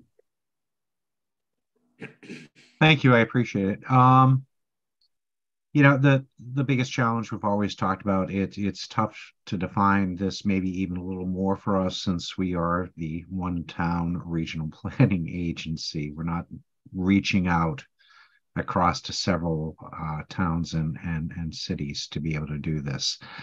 Um, the thing I would like to be able to do is so um, we are getting forward momentum is proposed that by next month we close out this section um, and then kind of move along. Doesn't mean we can't go back to it but I would kind of like to put definitive timeframes on things so that we're not languishing on this. Um, I mean, Andrew's done a good job. I really appreciate this because this this was a very positive step in terms of doing this. But I, I think there's a point where we're going to say, okay, we're pretty good here. Next section, let's move along. Um, you know, we may find something we need that forces us to go back, but that's okay um, that you know at least there's a good reason for it. The other thing I'd really encourage is as well is not to use language which is ambivalent or uh, favorite planning term void for vagueness because there's a lot of things that I was looking at that were referring to quality of life that was mentioned as a mission. And that has got to be one of the most ambiguous terms I've ever said. If you're going to put something in there, you also need to define the parameters underneath it. So, in looking, I did a brief bit of homework and I actually found something from who was there? Uh, Franklin County, Franklin Regional Planning Agency, who had done a really good job because they were one of the first ones who steered clear of that that that very uh, vague language uh, and intonations in there. So I, would be happy to share that with you all. Whereas when I looked at other things like Martha's Vineyard or the Cape Cod Commission, they they were quick to glom onto that. Um, fine and well, but again, we're subject to interpretation of this not only amidst ourselves but also for the public as well too that we serve and that's where I think we need to be greatly careful. Um, lessons learned from the past. So I'm either happy to share the Franklin thing with you, or we can hold it aside, and I'll get it to you before the end of next month. Uh, before we meet next month, so it's all up to you. Thank you. Uh, I, I don't know if we are prepared to examine that on the screen, sort of live, it might be best to send it to Megan uh, with, with your notes about what you liked about it and have her send that out to all of us, if, if you don't mind, Barry. Yeah, and actually, actually, I, am going to make sure that Andrew directly gets to see that first because you know he's he's probably got the the best experience of, with anyone outside of dealing with RPAs, um, and it would be good to take things like this and kind of just vet it through him uh, at the onset of things. So thanks. Um, yes. Uh, sorry, I have a hand up from Seth, and then uh, was it Nat? That would be great, Mary. Thank you. Let me put my hand up correctly. Seth, go ahead. And then Dave, I see your hand as well. Thank you, Madam Chair. Uh, I mean, I think it's important to get the language of the mission right. Um, but it might need some time so that this doesn't turn into a grammatical workshop. I do have a few minor points. I think our scope does extend beyond the island of Nantucket. It also, in my opinion, includes the islands of Tuckernuck, Muskeget, and our surrounding waters. So I'd like to see that enco- um, encompassed in the mission. And then I think the um, concept of you know plan versus coordinate, I see that our regional commission really, you know, as Andrew said, everyone is doing their own plans. Our job is to coordinate between departments and um, other boards to ensure c- kind of regional uh, effective planning. So I think we could just say coordinate development and protection. And then lastly, in terms of physical resources, although I'm fine with that term, if that's a term that's used in you know the state regulations, it's a little bit vague. You know, is physical only related to natural resources? It, does it accompany the built environment? Um, so I think we might need a little bit of specificity on what is physical resources. Thank you. Thank you, Seth. Nat? Yes, Madam Chair, thank you.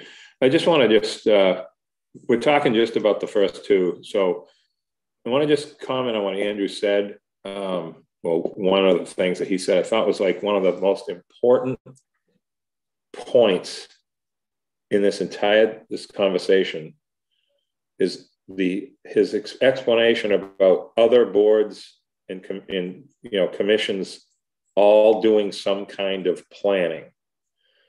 I think that needs to be fully understood and sort of as we move forward into this you know new era that we're in now that word planning gets very confusing and sort of assumed what it means and it's we've seen that especially in the past couple of years especially with like what's going on with housing and land use and the value of land and how little there's left and nobody thought about what this was going to be like blah blah blah. All that stuff fits into what andrew's talking about. We have we have the affordable housing trust that's doing planning. I mean everybody's doing something. And, i think that's a really healthy thing especially with this community is one is one town but it has so many moving parts and there's no way one board or one commission could could handle whatever that word planning means. Um, to follow up on something seth said about the regional and oceans i want to add one more thing to what he said and i want to add barnstable. There's a reason why i'm saying that. Barnstable is our second home. And you know hate to you know expose how long i've been around doing this but barnstable is forgotten and nantucket's forgotten sometimes. And my sort of little, i have a small little thought over the years that we could formalize through this board this commission a relationship a formal relationship with barnstable on occasion, like whether it be once a year, whether it be just through staff, doesn't matter. Just so they don't forget that we're here and we don't forget that they're there because we have, we're buying four new boats at the steamship. Well, three, but there'll be a fourth. And there's a, we have a relationship with, with Barnstable that is beyond most people's understanding. This is stuff that I talk to Mary about a lot with the with the boat lines and the, and the relationship with Hy-Line and so forth. And I think that this commission moving forward into another era is going to be one of the most important things that we never discuss is our relationship with Barnstable. So I like the word regional for those reasons that Seth mentioned the ocean plan, I think he was kind of referring to that a little bit, and and obviously what's going on with the wind and stuff. But but I want to add that add Barnstable to that sort of thinking process for everyone. Um, and definitely this economic development thing.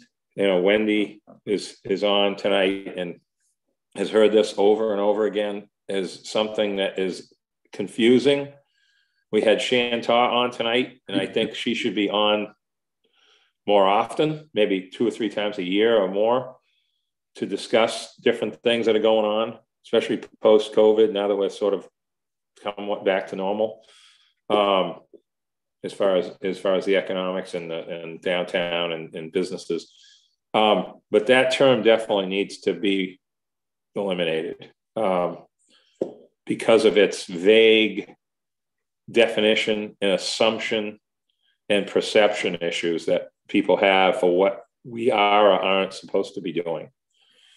So um, that's all I have right now, Madam Chair, but I just wanted to throw that in. Seth always says something that catches my ear. And I just wanted to add that Barnstable thing to this to that part of what he was saying. Thank you. Thank you, Nat. Dave? Um, I, I support Nat's Barnstable thought. I think that they're they're too important part of our uh, existence here on the island not to have some some sort of tie in here. Um, uh, my question is is more about process, and maybe through you, Madam Chair, to Andrew. What do you, how do you see this process going on? I mean, I think the work you've done is great, and it all makes sense. But what's the process here? How are we going to go about doing this? So, uh, thanks um, for that. Um, I think, um, as you know, this you know, effort to look at our um, enabling legislation came about after a citizen article in town meeting voted to refer this back for us to look at and consider. Um, you know, I think when you realize, as I did, that you know the commission is coming up on its 50th anniversary in August, that um, you know we've done, you know, I think amended the um, amended it four different times, but not any any time in a really comprehensive way. Um, in each case, it's sort of been you know reacting to something. Um, that you know the effort to do such a major thing should be done comprehensively, you know, with full discussion and and sort of understanding what we're doing. So what I think is that we will have this on agendas for some time here. Um, you know, to, there are some major points that that still have to be discussed. I mean, not the least of which is financing and the future structure. Um, and I think that this would either be something that we submit directly to the state or that we bring forward, you know, when it's an appropriate time to to town meeting for reconsideration. Um, there are other items, you know, that have an, somewhat of an impact on this, and it's impossible. This is something I talked with uh, our chairwoman about. Is you know, how do you predict if the the st- overall structure of all of town government is going to be, you know, um, changed at all here? Um, but it's something that I think we have to consider as we do this as well. Um, because there there may be other home rule petitions, you know, that come out of that headed to the state at the same time. So at this point, I think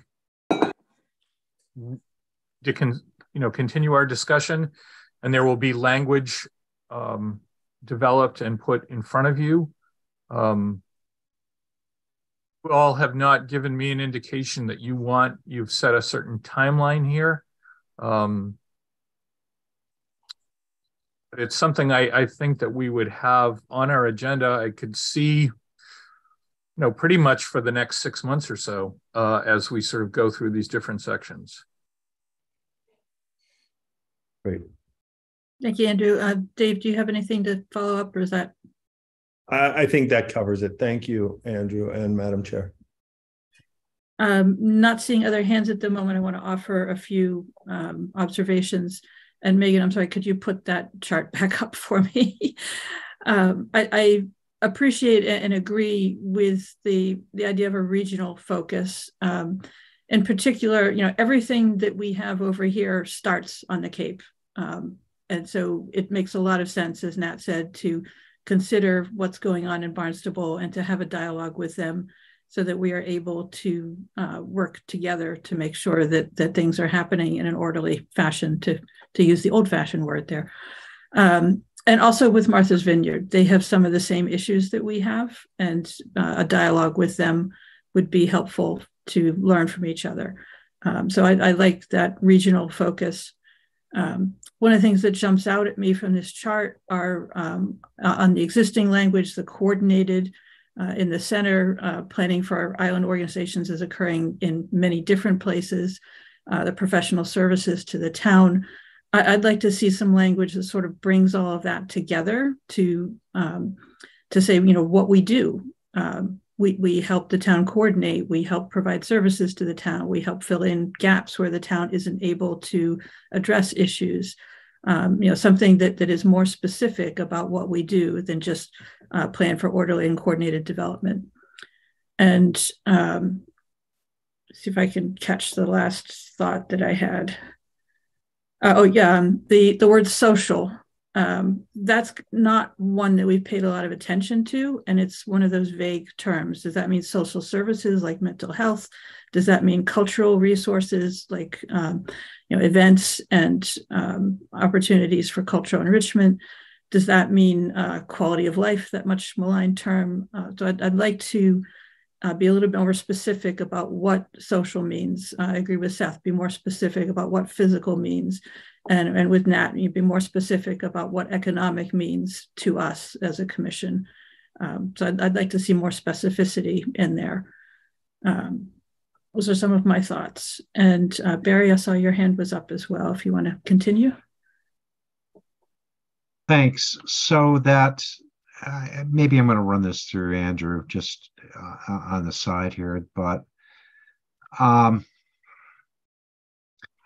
I guess the question is how do you all feel about trying to, as I said earlier, deal with these sections, but also begin to close them out a little bit as well, too, which means that between this month and next month, um, you you all get a chance to feed back to Andrew what you see as as the mission for this and some of the appropriate verbiage for it we have the discussion and then say, okay, great, let's move along to the next section.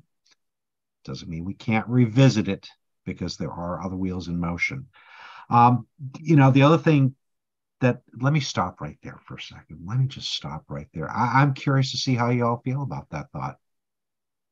Comments from commissioners to Barry's question?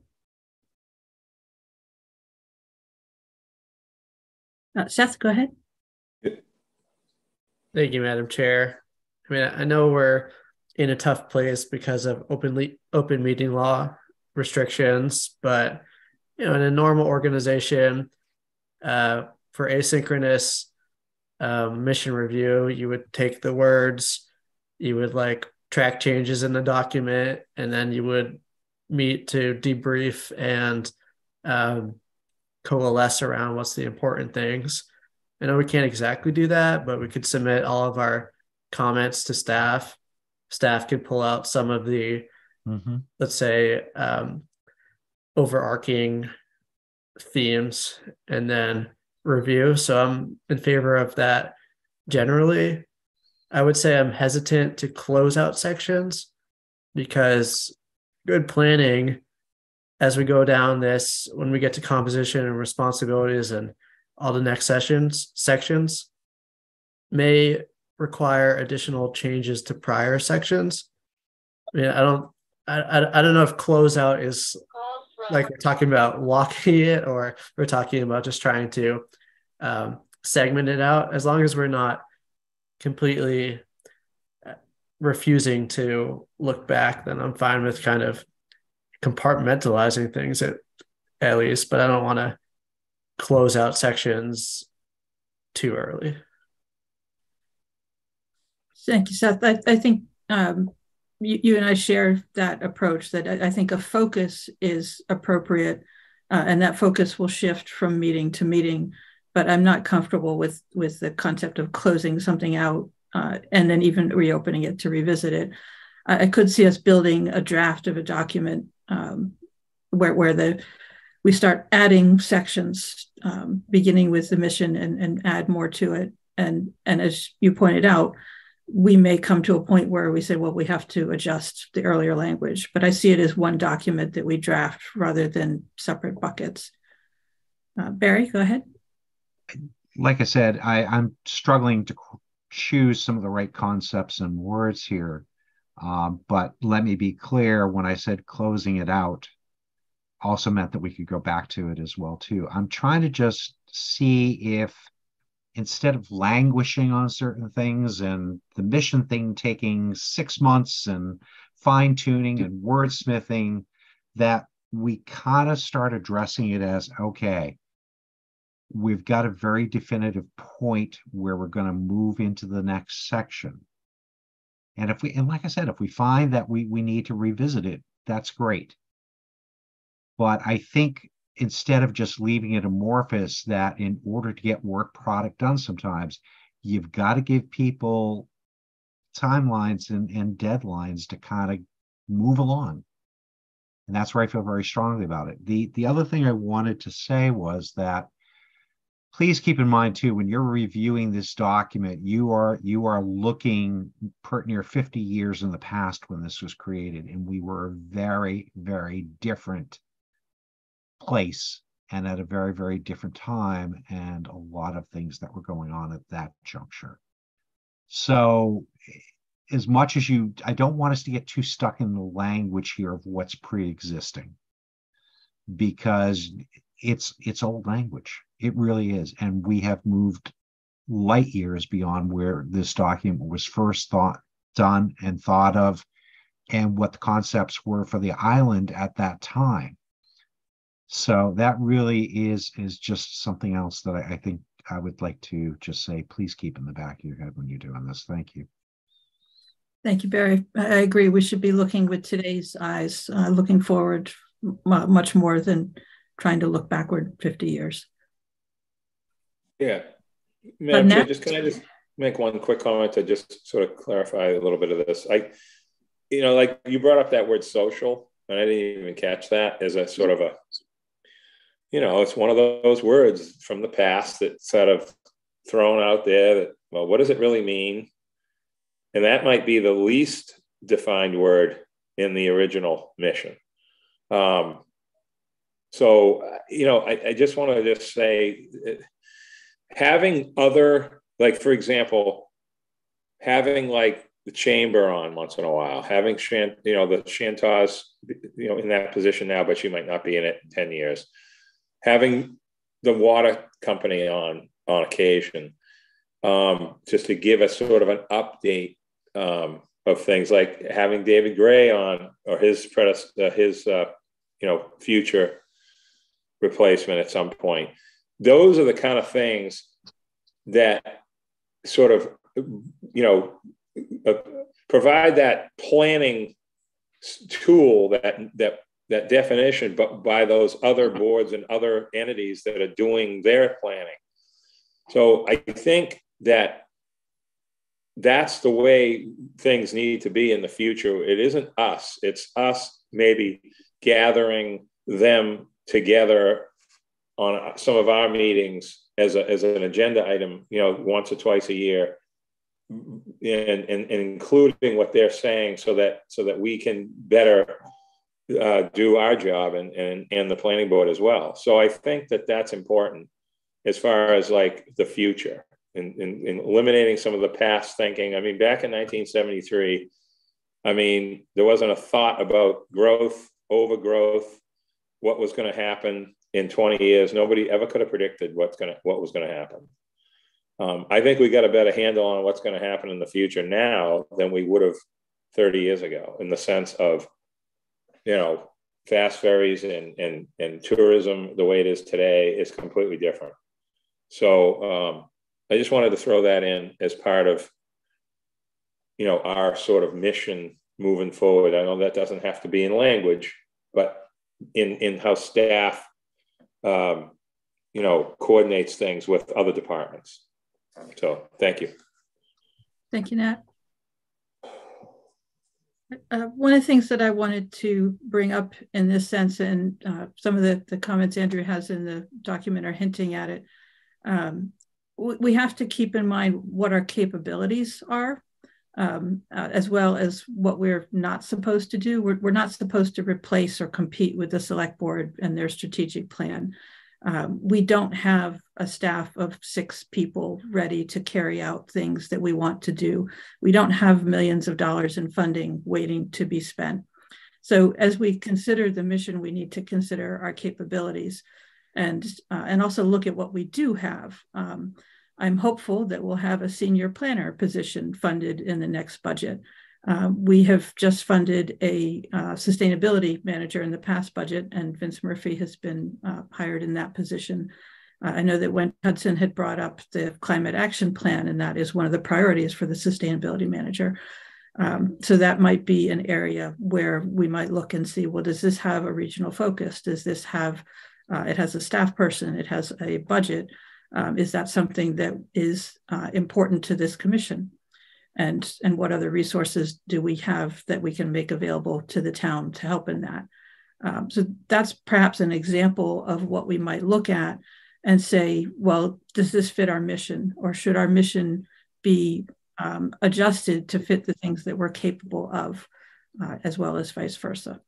So that's a thought just to keep in mind. Um, and, and, and again, not to compete with or duplicate what other parts of the town are already doing. Other thoughts or comments from commissioners? All right, so I, I, think my intention is that we have a focus at each of our upcoming meetings on one of these areas, uh, as well as a review of um, perhaps some draft language coming from the planning department or um, questions from the planning department uh, so that we are looking back at our most recent conversation and updating or affirming that, and also continuing to look at other areas of the uh, legislation to suggest potential changes and, and bat around ideas. Uh, Barry, I do take your point that we want to keep this moving forward. We don't want to spend six months wordsmithing one little section. Um, certainly not what I want to do. If there's nothing more on this topic, um, go ahead with the agenda. Um, discussion of articles of planning concern. And again, there was a list in the packet uh, provided to us of articles that staff is recommending that we discuss.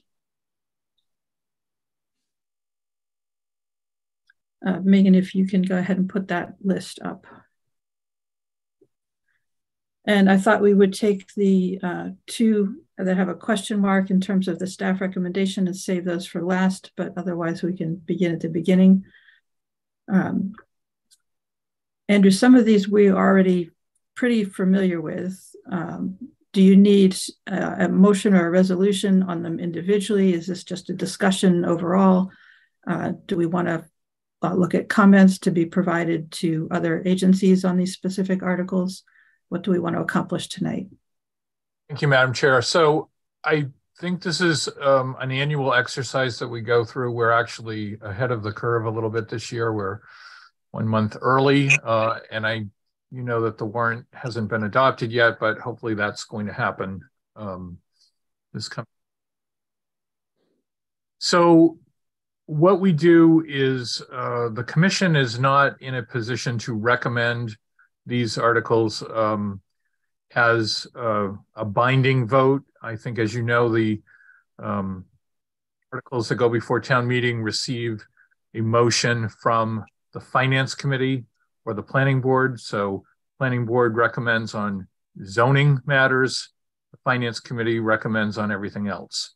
The finance committee is now moving into, and in some cases already started, their review of various articles. So during their public hearings, um, various individuals or groups can comment on them. So uh, this exercise for us has generally been um, if there are articles that we think, we collectively think are of planning concern that we want to comment on, uh, share opinions with uh, the finance committee uh, in their deliberations about how they will recommend certain articles, uh, we do that. So our first, um, and, and this is not a public hearing, again, public hearings on uh, most of these articles will be held at the Finance Committee. Um, we do not have zoning articles uh, on this particular list. Those will be held you know, that public hearing will go before the planning board. And that's not to say that, you know, this list is exhaustive or, um, you know, commissioners may have other ideas on what is important. Uh, this this first, uh, I guess, iteration is developed by the professional staff for your consideration. Does that make sense? Do you, does anybody have questions about the process here? Uh, so, Andrew, again, what are we trying to accomplish tonight? Are we trying to get to comments or is this an, an early discussion? Well, it's an early discussion to see if there are articles of planning concern that you would like to make. What we do with this list is we turn it into some sort of a document that heads over to the finance committee. So yes, if they're if you're ready to, you know, take some sort of position on any of these, we'd like to know. And if there are others that you want to push off for further discussion or further consideration, that can happen as well. Okay, so let's start with the Wauwinet Road shared use path. That should be pretty easy because that is coming out of our department. Uh, I, I would assume that we would want to make a statement that supports the adoption of this article. Is there any discussion or any other um, motion that we want to take on this particular one? Madam Chair, you skipped over Surfside area. I, I apologize. Um, They're both the same. yeah, I took the easiest one first. merge them together, yes. Yeah. Um, so, so just continuing for a moment with the it one, since I've already brought that one up. Um, is there anyone who wants to offer a comment that we would provide to other agencies regarding this article?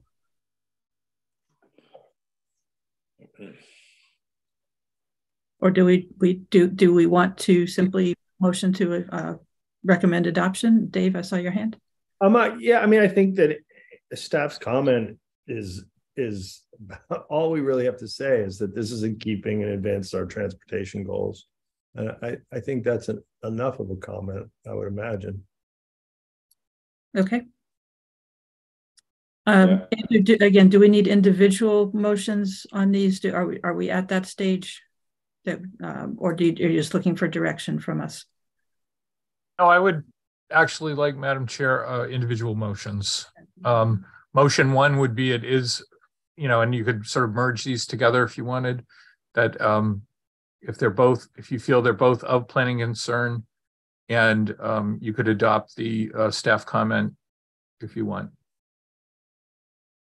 Okay. You, you mean on you mean on the first two, right, Andrew? Is that what you're saying? Yes. Okay. Okay, before we take the motion, then any further comment on the Surfside Area Road Reconstruction and Transportation Improvement article? Just want to make sure we have an opportunity if anyone has a question or comment before we lump those two together. Right, Barry, I see your hand up. Uh, thank you, Madam Chair. I, you know, here's the thing. I, I instead of making this a, a, a 12 point exercise or even a 10 point exercise, um, staff has done a lot of work, and I think you see everything before you at this point. It may be a little bit more expedient to have the commissioners isolate out anything that they want to talk about right now Otherwise, I think we go with what we see before us at this point. Um, that would be my thought. Not, yeah, thank you, Barry. I'm, I'm not prepared to do that. I think there's quite a variety here um, that we may want to break things apart. Um, but thank you for the suggestion. I appreciate the hour uh, that we're at here. Yeah. Uh, would anyone oh. like to make a motion for the first two listed, the Surfside and Wauwinet articles to uh, recommend adoption with the staff comment that they advance transportation goals? So moved. Second. And I got a second there from Dave. Roll call vote, Seth Engelbourg. Aye. Christy Ferrantella. Aye. Wendy Hudson. Aye. Dave Iverson. Aye. Bert Johnson. Bert, Bert, are you? Oh, Bert's uh, He's on the phone. Moment. Yeah. Uh, Nat Lowell. Aye. Barry Rector. Aye. John Trudell. Aye. Mary Longacre, aye. So that's with Bert abstaining. Um, the um, third one, amend description of public works facility. Is there anyone who has a discussion on that, or would we like to make a motion to recommend adoption with the staff comments that it will provide operational efficiency and alle- alleviate traffic? And I believe that was supposed to be emissions, not omissions, in the staff comment.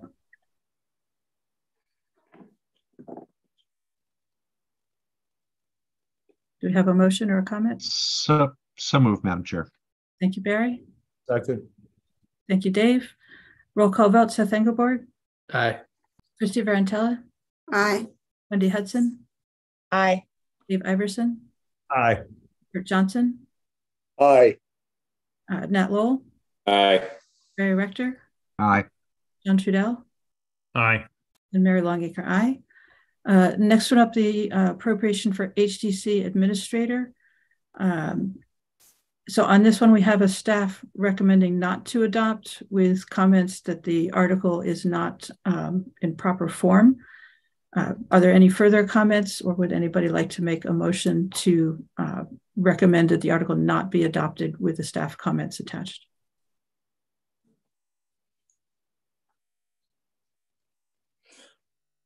Yeah. I'll make that motion. Thank you, Christy. Do we have a second? Second. Thank you, Nat. Roll call vote, Seth Engelbourg, Aye. Christy Ferrantella, Aye. Wendy Hudson, Aye. Dave Iverson, Aye. Bert Johnson, Aye. Nat Lowell, Aye. Barry Rector, Aye. John Trudell, Aye. Mary Longacre, aye. Um, the two with question marks, as I said, I want to move those to the end of the discussion. The town council form of government, um, again, we have a recommendation from the staff not to adopt, uh, and the articles are not in the proper form. Do we have any comments or would somebody like to make a motion to follow the staff's recommendation? I'll make that motion. Thank you, Second. Dave. Second from Bert. Roll call vote, Seth Engelbourg, Aye. Christy Ferrantella, Aye. Wendy Hudson, Aye. Dave Iverson, Aye. Bert Johnson, Aye. Nat Lowell, Aye. Barry Rector, Aye. John Trudell, Aye. and Mary Longacre, aye. Uh, the home rule petition for conveyances to the land bank, um, and there is a similar article, uh, the real estate acquisition and conveyance for 31 Easy Street. Can we take those together, or does anyone have comments on those two? If there are no comments, we'll take a motion, on staff's recommendation to uh, recommend approval uh, with the comments that are provided. I'll make that motion. Thank you, Christy. Second. Thank you, Dave. Roll call vote, Seth Engelbourg, Aye. Christy Ferrantella, Aye. Wendy Hudson, Aye. Dave Iverson, Aye. Bert Johnson, Aye. Nat Lowell, Aye. Barry Rector, Aye. John Trudell, Aye. and Mary Longacre, aye. Um, remaining the home rule position for NP and EDC, uh, the staff recommends not to adopt. Uh, the article, article has um, faults, and as we all know, we are pursuing the same topic um, on our own initiative. Uh, any further comments on this article, or do we want to make a recommendation not to adopt? So moved, Madam Chair. Thank you, Barry. Second. Thank you, Dave. Roll call vote, Seth Engelbourg, Aye. Christy Ferrantella, Aye. Wendy Hudson, Aye. Dave Iverson, Aye. Bert Johnson, Aye. Nat Lowell, Aye. Barry Rector, Aye. John Trudell, Aye. and Mary Longacre, aye. All right, we have two articles, uh, the motorized passenger device. Um, this is a citizens article. This is something that we had hoped that the Bicycle and Pedestrian Advisory Committee would be able to address. Um, Andrew, do we have any further information on um, if they will be able to address that? I I know that with Patrick's departure, meetings for that committee are um, more difficult. Uh, do we have a timeline or anything that we can talk about here? Um, not. Um, it's something we could ask them um, to take up before our next meeting. Um, that is something the, the commission wants to consider. Um, I will say that it's, you know, the, without, you know, Patrick's or without a transportation manager's specific expertise, there is really no staff. There's there isn't going to be staff support for that group until that position is filled. Mhm. Barry, you have a comment? I'll I'll let Seth go first if you don't mind. Oh, okay, Seth. Thank you, Madam Chair. So it's unfortunate that, you know, BPAC is going to have reduced capacity to handle this issue. Um, and I know our BPAC representative is not here today, but I think for several reasons we should uh, issue a negative recommendation on this article. Um, the first is very, I would say, straightforward the article as proposed doesn't do anything different than chapter 91 of the town of nantucket code uh, chapter 91 of the nantucket code already prohibits these motorized passenger devices and all that the proposed article is hoping to do is increase the specificity of that prohibition but you don't need specificity of a prohibition when there's already a blanket prohibition. Um, so I, I think the article, even if passed, won't have any measurable legal change, which is the first reason we should not support it. The second is I've presented to this board, to the select board, and uh, I'd hoped to present at some point to BPAC, but I think that there are very good reasons to support the use of uh, micromobility devices on Nantucket as long as they are well regulated. And I think that if the article sponsor had just given the appropriate um, commissions and town staff time to think of the ways to do this, we could have easily gotten to a place where Chapter 91 of the Code of Nantucket was altered to allow for specific use with restrictions that made sense um, in terms of safety, but also allowed for the continued use of these devices that have measurable benefits to the community in terms of um, reducing the reliance on vehicular trans- transportation. Um, also, there are environmental benefits from reduced uh, fossil fuel emissions, there are benefits in terms of uh, justice outcomes because these devices typically are much less expensive and much easier to store than cars. Um, and it's, you know, honestly just a pleasant way to get around the town.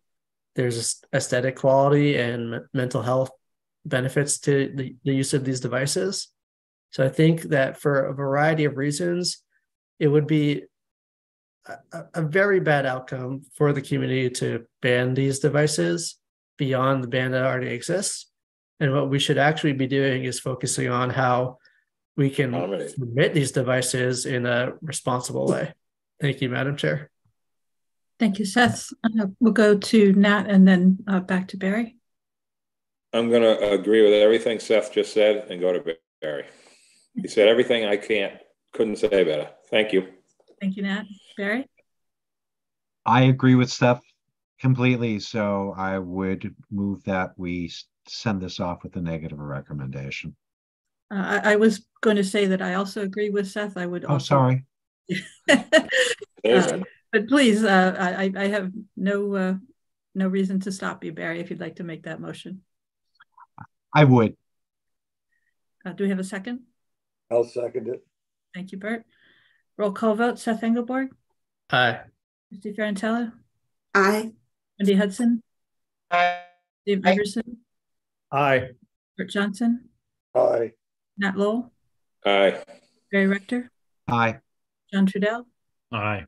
And Mary Longacre, aye. So we're making a uh, recommendation not to adopt that article. And the outdoor lighting article, uh, again, staff did not provide a recommendation. Um, do we have comments on that article? Barry? I would just, to be expedient here, say that we're, we're gonna make that, I'd like to make that same motion, but again, we can do that in a few minutes if we need to hear from the other commissioners first. I'm happy to wait a few moments, but that's, that's the direction I'd like to head. Thank you. Barry, I do have a comment, but other commissioners first. Seth? Thank you, Madam Chair. Just very quickly, uh, I think that from my you know limited knowledge of outdoor lighting, reviewing the current text and the draft the draft new text, I think that there is a clear um, need for a update to the current text, but I am not necessarily an expert. I know the article sponsor submitted some written um, information to us, which I reviewed. It would be good if we have an opportunity to have them present. I would appreciate that, or to have somebody from the town, like p- potentially the energy coordinator, to give us a staff review of what they think, so that we could get a little bit more of a, a rounded out analysis. Thank you. Thank you, Seth. Uh, other comments before I go ahead? Madam Chair, can I just, I didn't put, I didn't put my hand up, sorry. Um, Leslie, would you mind kind of, kind of giving us the, I don't know, the dark skies, um, sort of quick analysis? Is there, is there room, like, like, like Seth said, actually made a good point, is that there's room for improvement, but like, we need to, we'll look at it, you know, from a practical point and sort of at a staff level and maybe something for next year. Is that is that where we sort of are with this in your eyes? Because when we this stuff comes up at planning board applications all the time, and with today's current technology, LEDs, um, you know, everything is sort of aiming to the ground. I mean, there's a lot of it's sort of going faster than the rules that we probably have, if I'm not mistaken. Yeah. So the current bylaw um, am I frozen? Um, the current bylaw, I believe, is from 2005. It was a citizen petition that was presented to town meeting.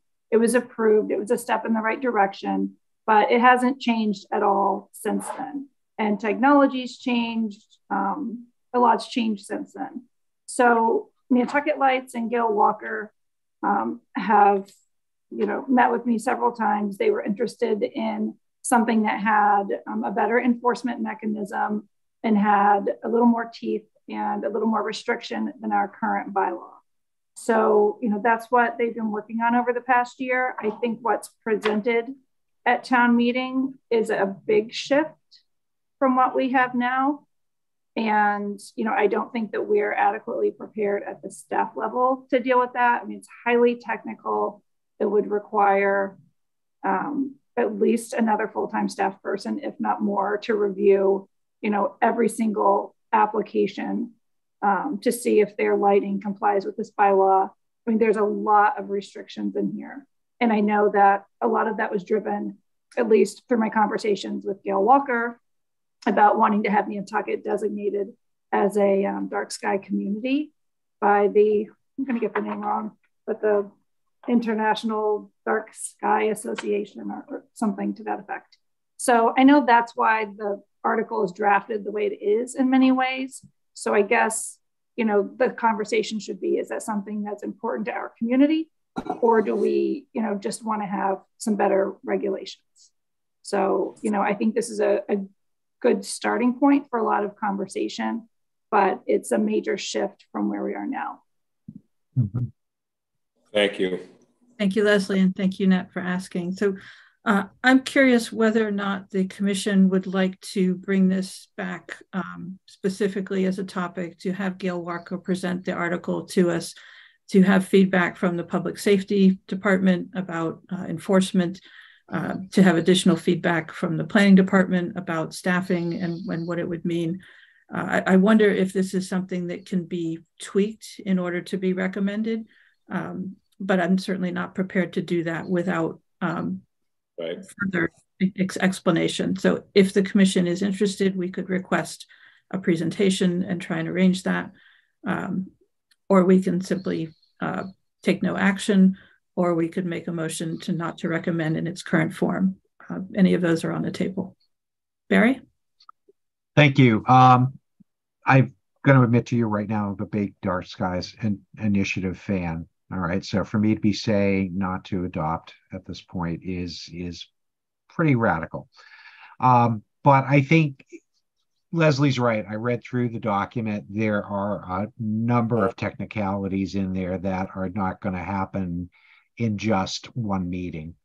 Um, we could add in there, um, we believe this article should come back at next year's town meeting pending further analysis, uh, which, may go a long way to satisfy it because I, there, there is some incredibly good stuff in there, and that is something that should be addressed. So it, I'll let Leslie go, and then I just want to go back to to where we were with the motion. Thank you, Leslie. Thank you. Um, I, I, just want to point out to the board that um, it's my understanding that Gail Walker is presenting her article to the Finance Committee on Thursday. Oh. Um, she has submitted some additional materials to them, and she's planning on having some lighting experts at the meeting. So I think maybe instead of having her come back and present to you, um, if members want to tune in to the Finance Committee, to get more information. I mean, it's not quite the same thing, but I, I think the presentation on Thursday will be more extensive than what you may get um, if you invite her to come to your meeting, just because of the experts that will be there. Thank you, Leslie. Uh, a quick question for you. Do you think that the article could be uh, broken up into uh, things that are adopted as a bylaw and things that are recommendations or guidelines?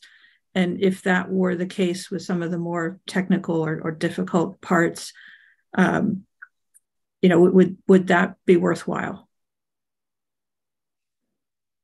Um, I think that's part of a much larger conversation. I mean, this this bylaw came in again as a citizen petition. It hasn't had, you know, a lot of time for review, and it's very complicated. So I think that may be something that can be achieved later, but I don't think that's something that can be broken out for town meeting. Mm-hmm. Thank you. All right, Barry, back to you for a motion.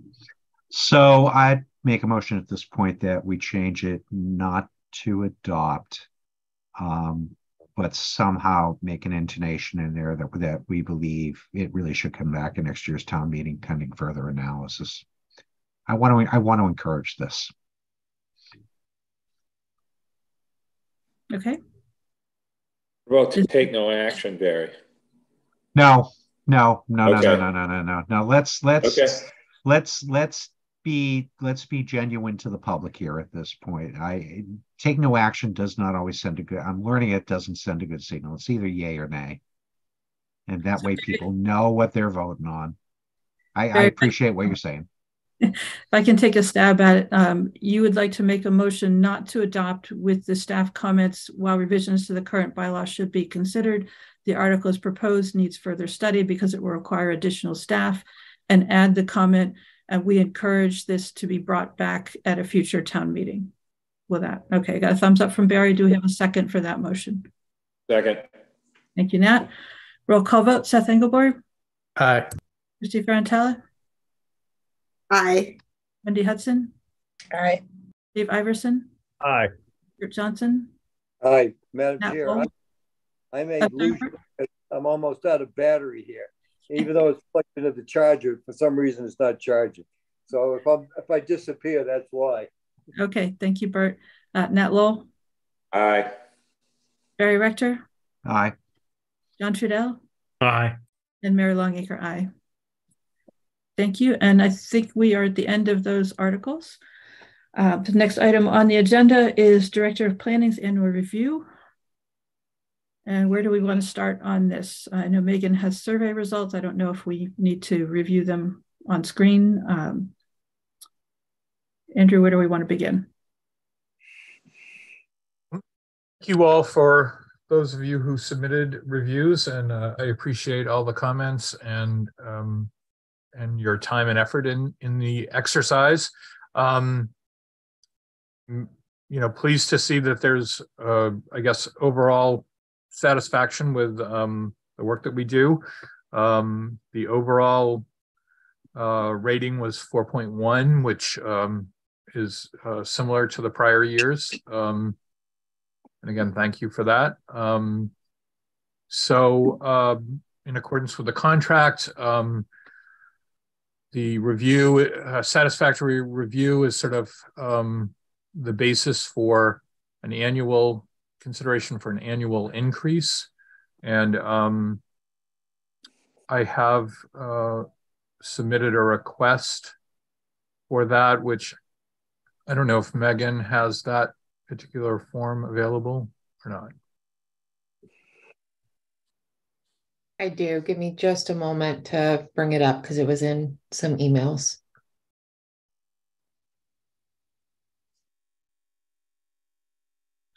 Uh, while Megan is bringing that up, any uh, commissioners with comments for Andrew um, or on the annual review process?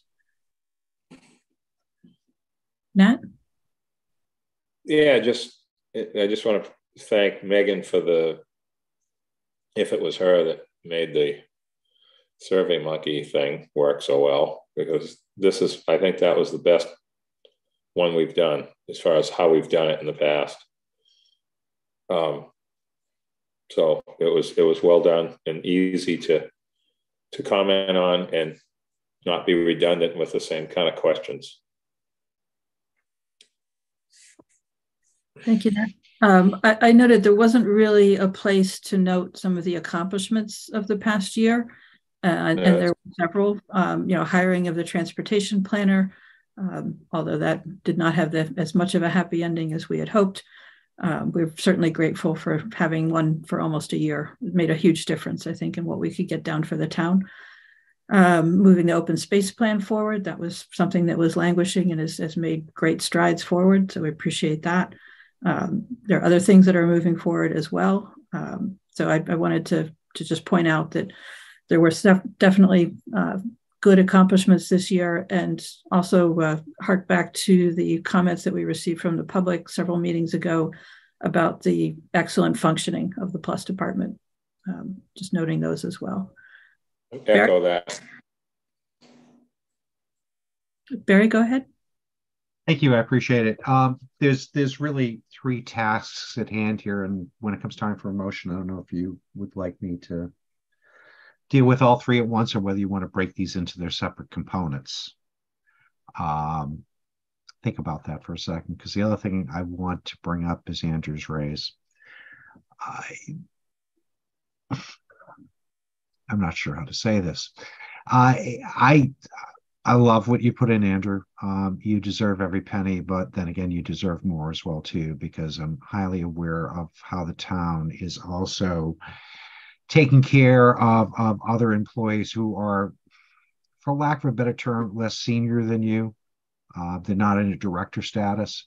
Um, for years on end, uh, you've we've you've had that opportunity to increase the pay structure in accordance with your peers, and you have always toed the line to to go with what what the general consensus is with the town. This this year is just blowing my eyes open in a whole different way. Um, it's like Oprah Winfrey giving away cars. So I completely respect where you're at and I want to do the right thing by you. And I think that if anyone has any questions, that 4.1% is, is, is at best, um, it's fine. It's fine. I'm just going to leave it at that. Thank you. Thank you, Barry. Uh, Megan does have the form up on the screen. Uh, any other comments or uh, notes from commissioners? We are we voting on this tonight, or is this just a something uh, coming up? Yes, I believe we're voting on it tonight um, after we have a motion. Yeah. Yeah. Yeah, I'll make a motion to um, approve or endorse. Is the word approve or endorse correct? For this. Approve is, is approve. What I thought. Oh. Approve the new contract. Second. Thank you, Dave, for the second. Further discussion, if any? Roll call vote. Seth Engelbourg. Aye. Christy Ferrantella? Aye. Lee Hudson? Aye. Steve Iverson? Aye. Bert Johnson? Aye. Nat Lowell? Aye. Barry Rector? Aye. John Trudell? Aye. Mary Longacre, aye. Uh, Barry, you have additional motion? Yeah, I do at this point. So in doing so, we have approved the contract and raise. Um, Andrew, do you also, would you also like a motion at this point to approve the results of the annual review? Or do you want to just, I, I, it's been a while since I've known when we've done this and it's fine however you want to proceed with it. Yes, actually, a motion to, um, you know, accept the review as submitted is fine. Okay. And is that, is that work? Yeah, Barry, do you want to make that motion? I'd love to then, please. Do we have a second? Second.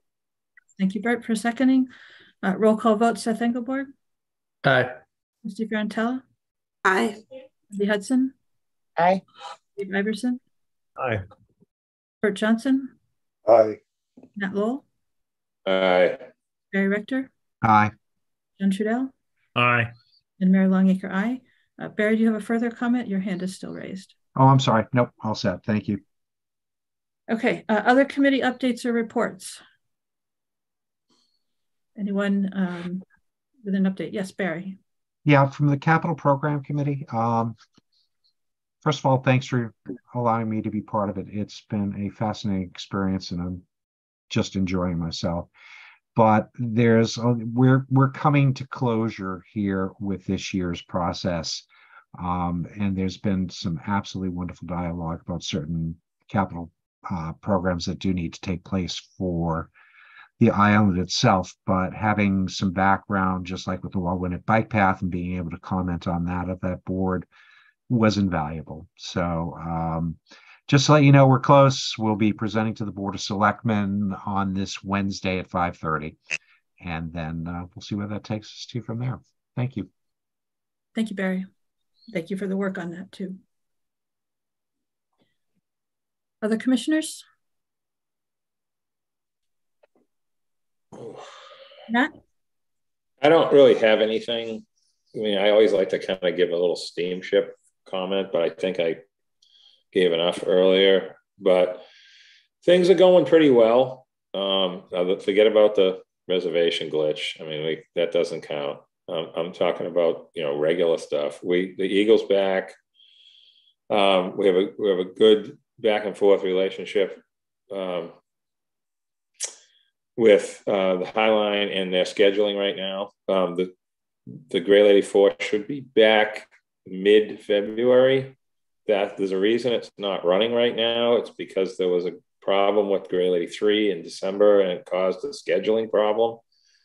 So it is definitely stressful for Nantucketers struggling to get back and forth with those boats that are sold out. But Gray Lady Four should be back in, in you know three weeks or so, I believe. Um, and the the new boats that's going to be a little slower than what has been said, but it's it's a good thing. It's it's there's a lot of work involved in this, and to get it right, and they're all down in the same area in in New Orleans area, so that will be um, a great thing once that actually happens. And I'm hoping for we're hoping for some sometime around November of next year of this year for the first vessel to be completed, but that's a guess. So thank you. Other comments for commissioners? So Megan, would you send an email out to commissioners with the details of the finance committee meeting where they have Gail Walker scheduled for the lighting article, uh, just that we all have that information? Sure. Thank you. Uh, our next meeting Thursday, February 23rd, that is before school vacation week. Um, hopefully that will not cause any issues, but that is a Thursday. Um, the difficulty there was the President's Day holiday on the Monday and not wanting to move a week later into the school vacation. So hopefully Thursday will work for everyone. Uh, we'll take a motion to adjourn if there's nothing else. Motion to adjourn, Madam Chairman. Thank you, Glad your battery. Second. Thank you, Nat. Roll call vote, Seth Engelbourg, Aye. Christy Ferrantella, Aye. Wendy Hudson, Aye. Bert Johnson, Aye. Nat Lowell. Aye. Dave, did I miss you? Uh, aye. Thank you. Uh, Barry Rector, Aye. John Trudell, Aye. Mary Longacre, aye. Good night, everyone. Thank you all. Thank you. All right. Thank you, Seth, for your comments. Patrick, thank you for everything you've done, Patrick. Thank you, Patrick. Thank you, Well, Patrick. There he is. Take care, Patrick. Good luck.